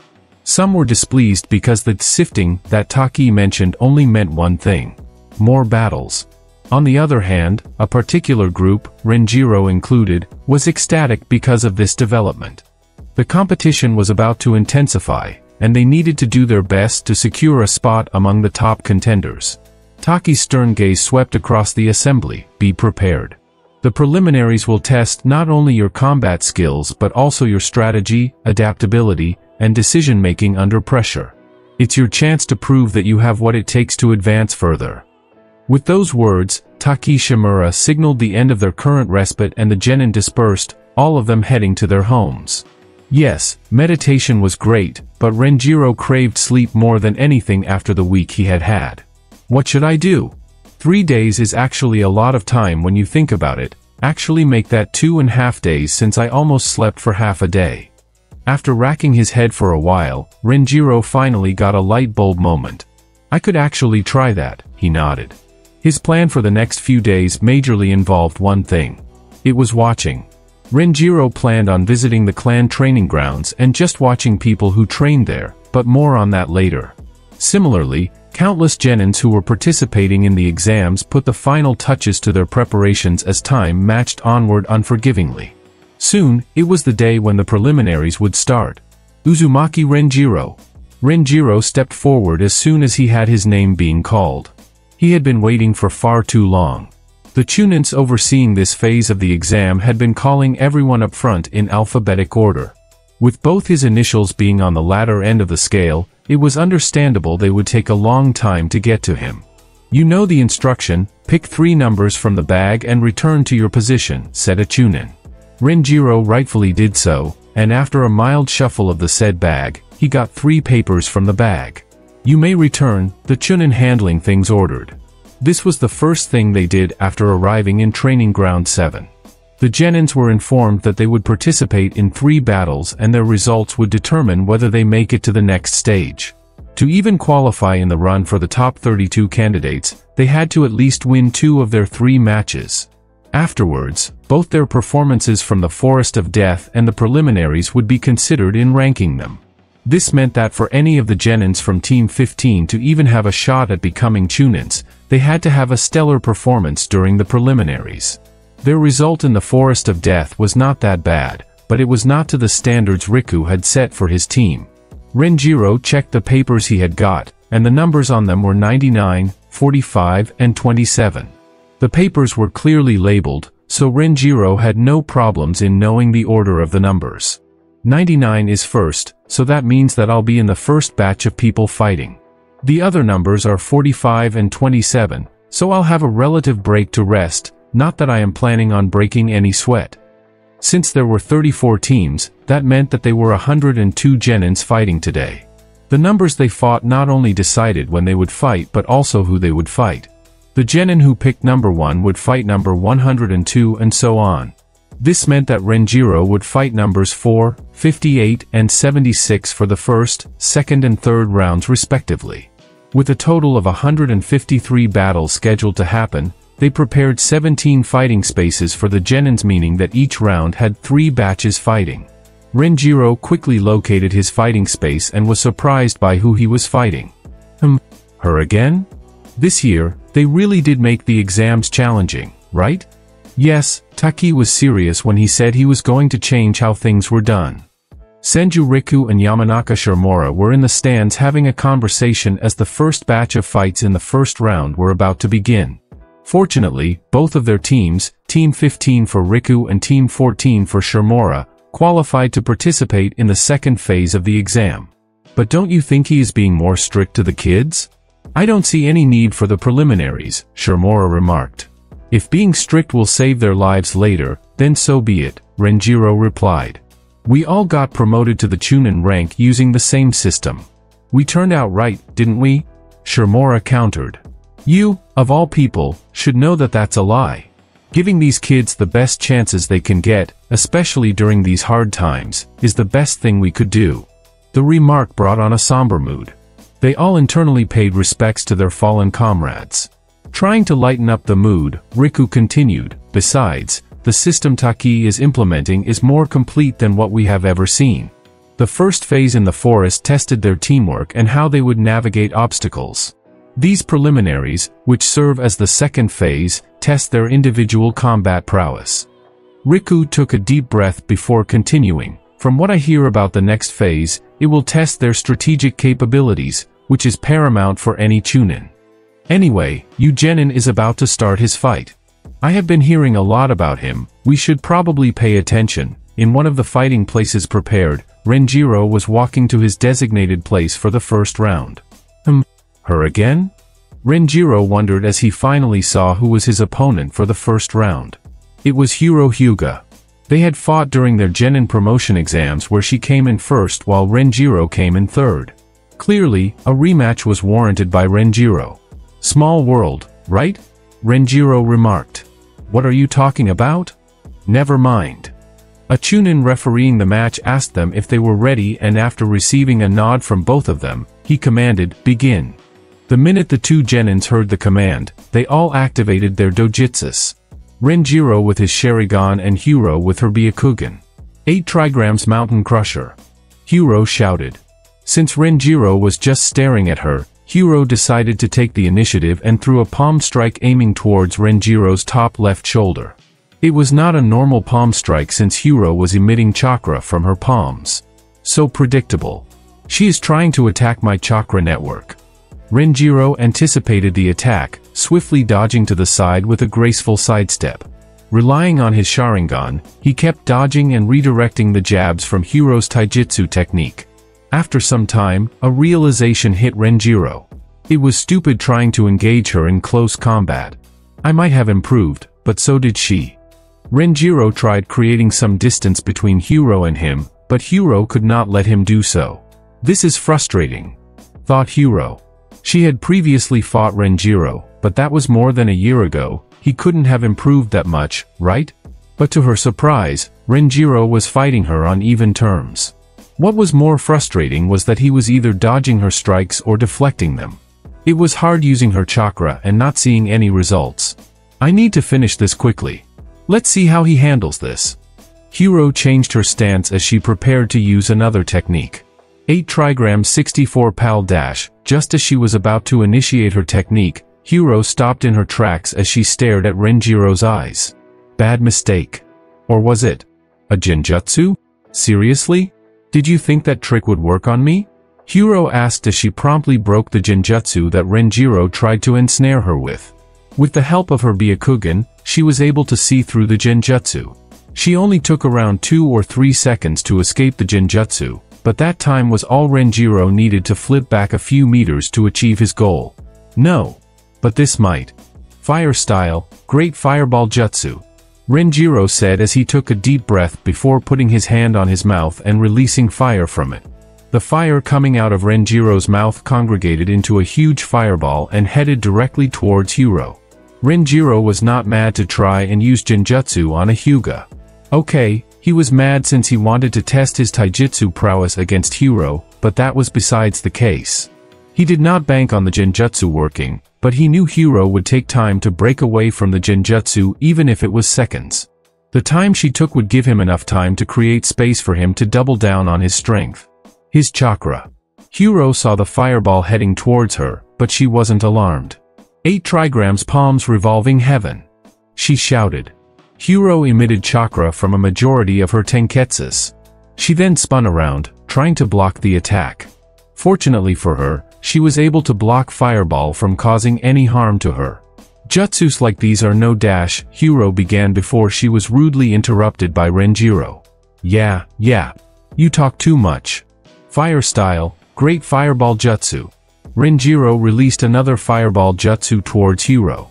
What dash, Hiro was surprised, but she didn't have time to do so as she had to defend herself. Fire style, great fireball jutsu. Wait dash, fire style, Great Fireball Jutsu. Renjiro kept spamming the jutsu, forcing Hiro to grasp on straws while defending. The continuous spamming of the flashy fire jutsu drew attention from the stands and also from some of the genins fighting alongside them. It was hard for them not to pay attention to the fight as it was equally destructive as it had become one-sided.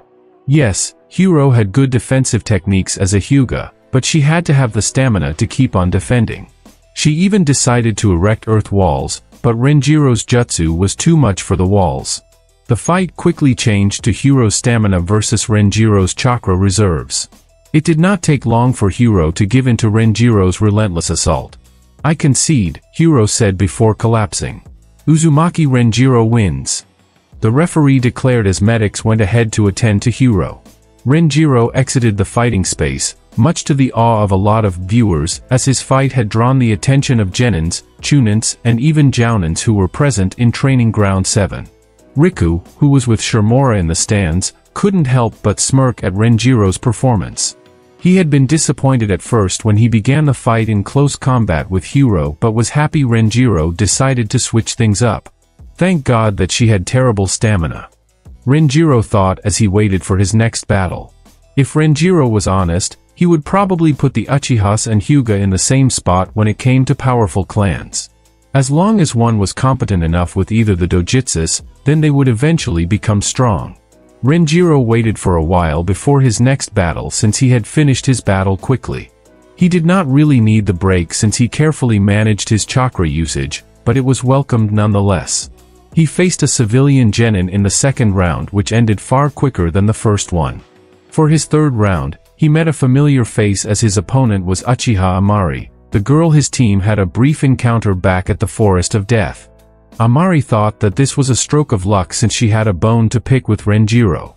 However, by the end of the fight, she was ruining her so-called luck that had now turned bad. With that, the preliminaries phase of the exams was done. Only a selected few were able to win all of their battles, with Renjiro being the only one from Team 15 to do it. Hiro and Aiko called him a show-off for that but what could he say? He wasn't really trying but he still won. Crazy, right? Fortunately, it did not take long before the ranking of the Genins was released. Last but not least, we have Morino Ibiki. All these 32 Genins will move to the final stage of the Chunin exams. Congratulations to those who have passed. You will be fighting in front of the village in one week so prepare well. Taki said as he left the platform. As he did, murmurs spread as the Genins had different reactions to the results. Most of the reactions were that of disappointment as only around 30% of the Genins participating moved to the next phase. Fortunately, all three Genins of Team 15 were in this group. Renjiro ranked the highest at the 15th rank, just one spot shy of the bottom half. Hiro and Aiko ranked 20th and 24th respectively. It was clear a majority of the results were determined by the results from the first phase since besides working in teams, it was also about survival. Team 15 did survive, but they were still one of the last teams to arrive at the tower. 15 isn't really a bad number. At least it's above average, so that's a plus. Renjiro thought as he approached Hiro. 20th? Hiro, you sure are lucky. But I'm not sure someone who wants to be a clan head should be scoring that. Hiro's brows furrowed. He was aware of what Renjiro was trying to do. I still qualified despite coming in close to last at the first phase, Hiro smirked as he continued, besides, if I had better teammates, then we would have cleared the forest earlier. Hiro was as sharp as he was talented. With someone like Renjiro in his team, it was hard to notice. He was a capable shinobi for his age, but Renjiro's sharp tongue was a challenge he never overcame. All I'm hearing is excuses. You were alone during your fights, but you still lost one of them. You don't know who I faced in my last fight. He is a monster and is the dash Renjiro, just let Hiro be. We all had a mountain to climb, but we still qualified. What matters is how we will perform in the next phase and become Chunins. Aiko interrupted with an attempt to make peace between the two. Alright, Renjiro conceded. Have you guys seen Riku-sensei? Both Genins shook their head and just as they were proceeding to look for their sensei, the man in question appeared in front of them. Congratulations, you guys have performed better during this phase than you did during the first.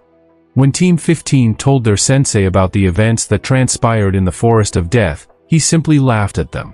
He told them if that was the reason they didn't become Chunins, then they would have to make it up to him through more training. It was not a threat, but it also wasn't the major reason why the three Genins worked hard during the three-day break to at least win a majority of their fights. Thank you, Sensei. It was because of you that we could qualify for the last stage, Aiko said.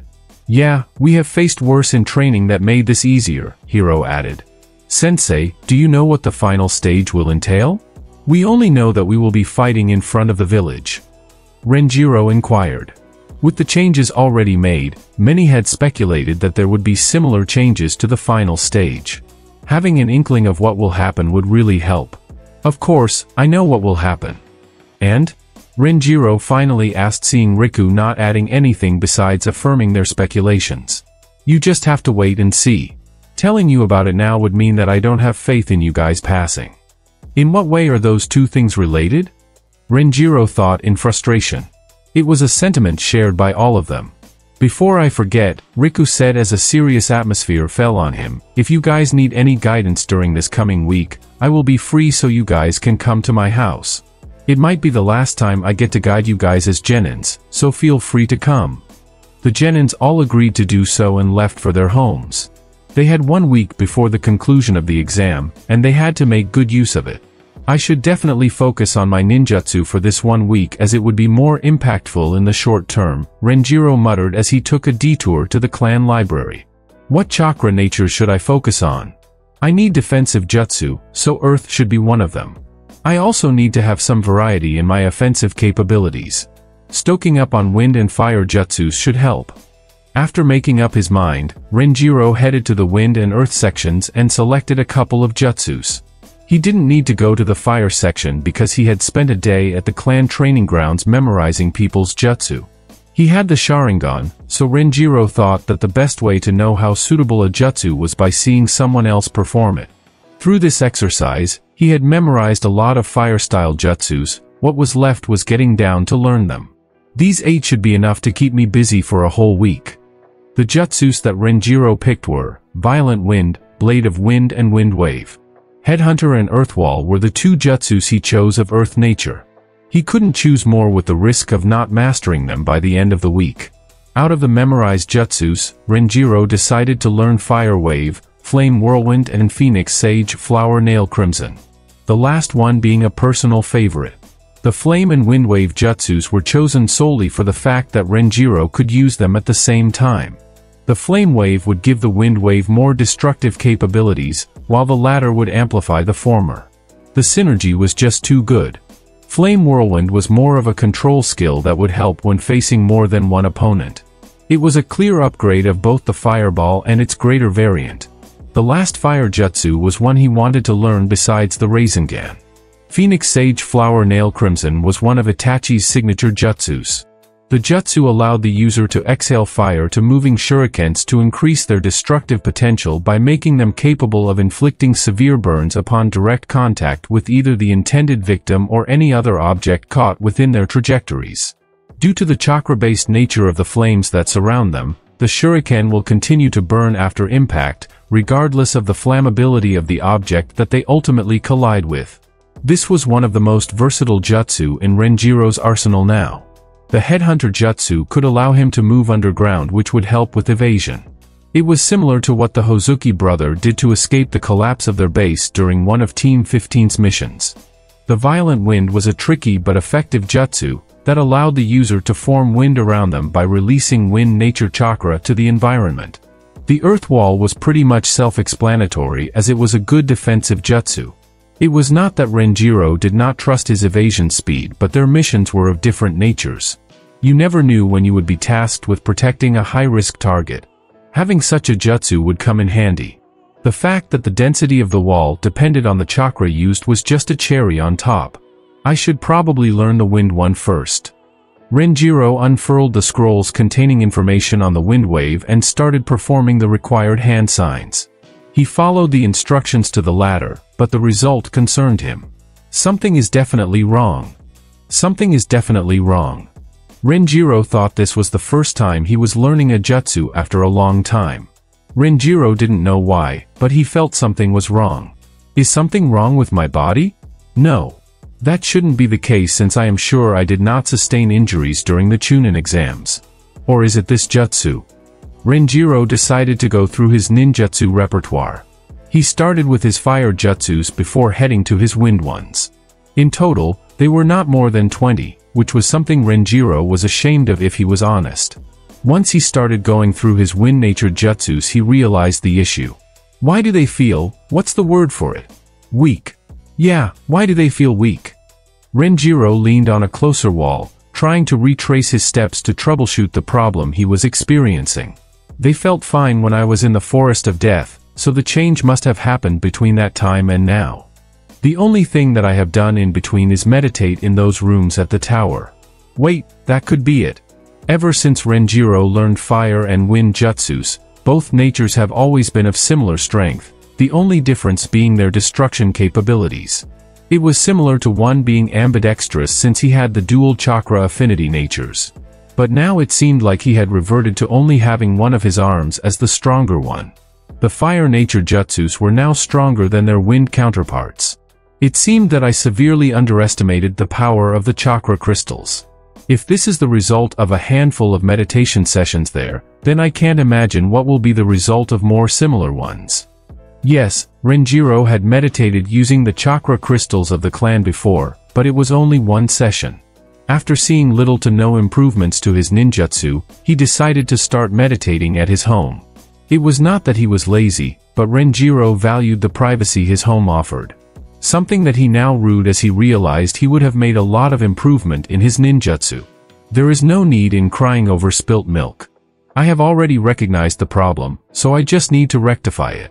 It's already evening, so this should be the perfect time for meditating. Renjiro quickly made his way to the center of the clan compound.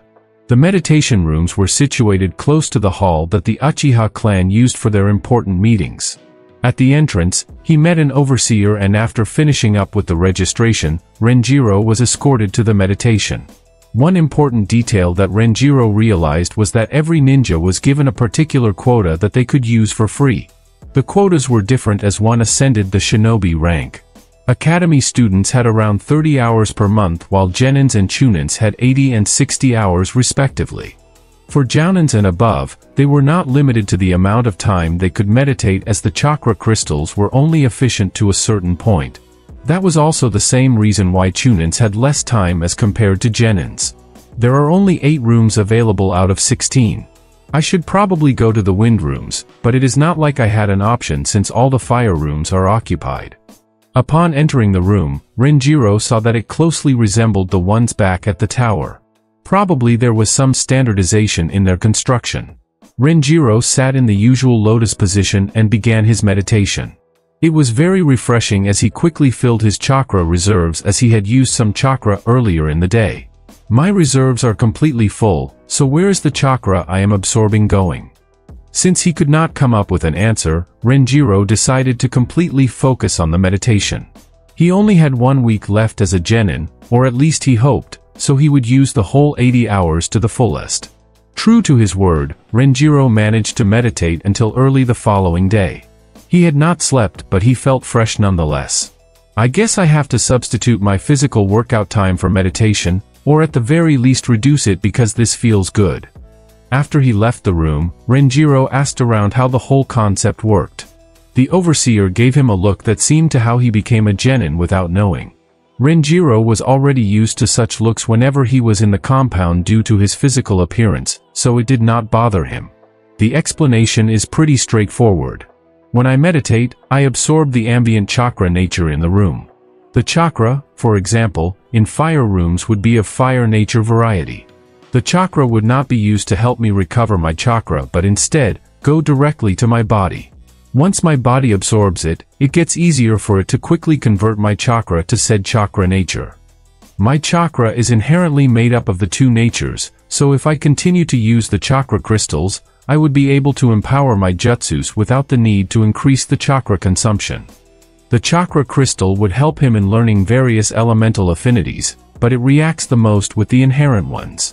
If the affinity was 44% then it would just increase it. This made sense as everyone's chakra was a composition of all the elemental natures. That was also the main reason why one could use jutsus of elements that weren't their main ones. Anyway, I should start with the wind jutsus first to see whether the changes were perceptible. Renjiro performed the wind wave again and since he had already begun learning it the previous day, he got it in a few tries. The changes are not that conspicuous, but that makes sense because I have only had one meditation session.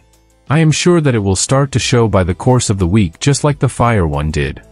Renjiro continued the schedule for the majority of the week with him spending most of his days working on the various jutsus he was to learn and finishing the day off with meditation. He kept on alternating the sessions between fire and wind chakra crystals. On the second day, he was able to master the three wind jutsus while on the third day, flame whirlwind and flame wave jutsus were mastered.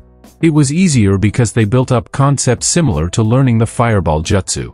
On the other hand, he spent another whole day mastering the Phoenix Sage Flower Nail Crimson Jutsu, as it required a bit of multitasking. Renjiro had to ensure that he had infused enough fire into the shurikens while also hitting their mark. Renjiro spent the fifth and sixth days working on the combination jutsus. His target was combining Flame Wave with Wind Wave. The only way to combine them was using a shadow clone while performing either jutsus. Boom! The result might be close to explosion release. Although using might might be an overstatement. Still, I need to get the timing well. If either fire or wind is released first, it offsets the impact by a lot. All in all, this is a good combination jutsu to have. Fire manipulation has always been fun to do. Wait, can I make my flames blue? Blue fire is just fire blasted with more oxygen, right? But how do I approach this? After brainstorming for a while, Renjiro had an idea to work with. Performing a hand sign, he released the flame whirlwind jutsu.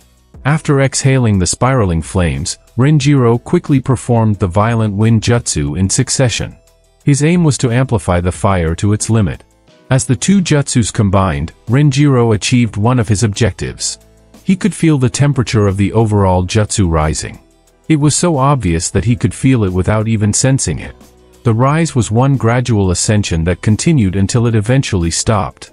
Okay, the flames got hotter, so at least we are heading somewhere. However, this increased heat is negligible and isn't worth the chakra used when I overcharge the violent wind. Maybe we can try it the other way round. Judging by how basic ninjutsu, especially for this particular one, Renjiro wanted to capture the air around him and forcefully combine it with his fire style. He first released his wind-natured chakra into the environment and initiated the jutsu. Winds around him started to rage as expected. In a similar fashion, he released the flame whirlwind jutsu.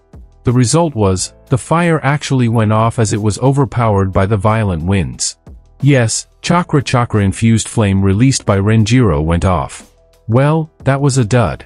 In the first test, fire was stronger and wind was stronger in the second one. It seems I need to find the balance between the two natures since one can't fully support the other as I have been doing. I only have one idea left, so we either make it and achieve blue flames or, just fail and leave this for later. Renjiro initiated the flame wave jutsu. He furrowed his brows as he concentrated on the flame. Bit by bit, the size of the fire that he was releasing began to dim out. Eventually, it suffered the same fate as Trial 2. I can't do this anymore, Renjiro breathed out as he bent and heaved for air. What he tried to do was condense the fire nature chakra that he released. At first, he tried to do so before the chakra left his body, or mouth, but he soon realized that he did not have much control over it. So Renjiro settled for the next best thing, trying to condense the chakra already released. But that was also a mountain he had to overcome as some of the chakra released were dissipating to the environment.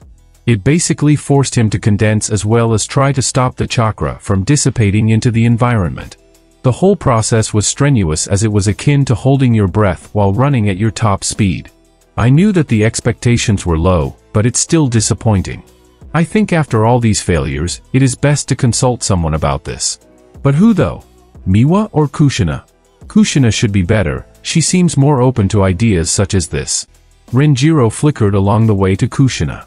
He had gotten better at the jutsu so it was relatively convenient to use it. Renjiro, how are you?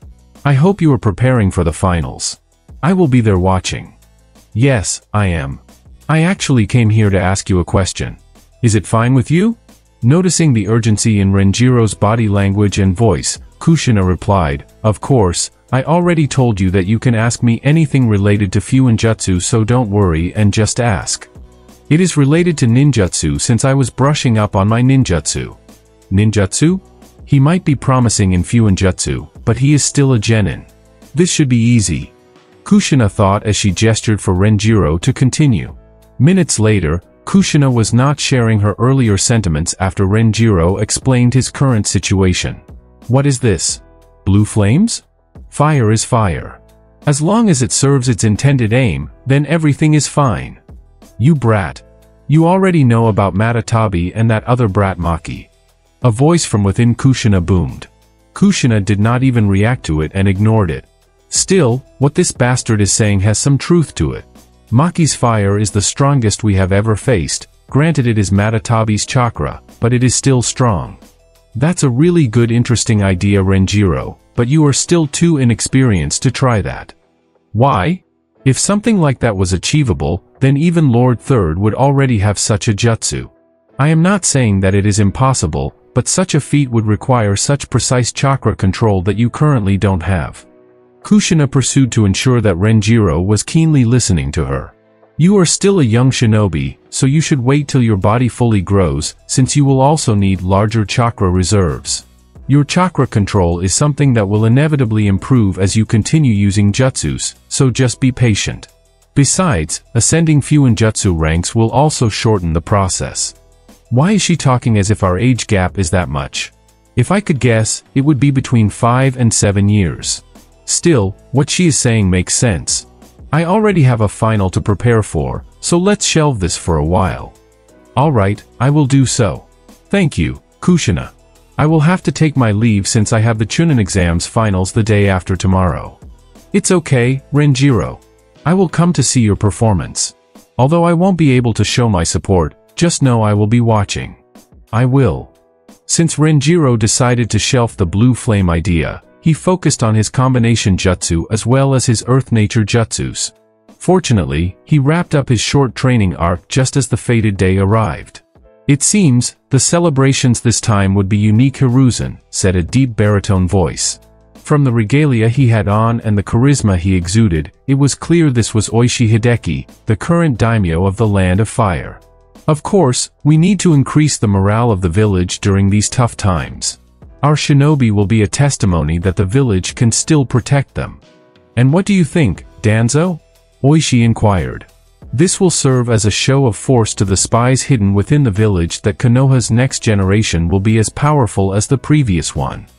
I guess we will just have to find out, Oishi said as his gaze trailed on the 32 genins standing on the stage. Listen carefully, as you have probably noticed, you are all standing according to your ranks. As Taki paused, all the genins scan their counterparts. The aim of this final is really simple. All you will be challengers. You will all be given three chances to challenge someone of higher rank, however, the person you intend to challenge must not be more than five ranks than your current rank. Once you challenge someone, you will head down to the grounds and fight against them, the match will only end when one loses their conscience or concedes. There will be no limit to the number of times one can be challenged. But remember, if you challenge someone and lose the match, you will instead drop ranks. Taki smiled as he relished the anguish on the faces of the young genins before him. If one took a closer look, a certain redhead among the genins actually smiled, thinking of the challenge they were going to face. This is going to be interesting. And that concludes this episode. If you enjoyed it, I'd seriously love it if you guys could leave a like on the video as it genuinely helps out so much, and it keeps me going, plus it takes only one second. That said, have a wonderful day. See you in the next one.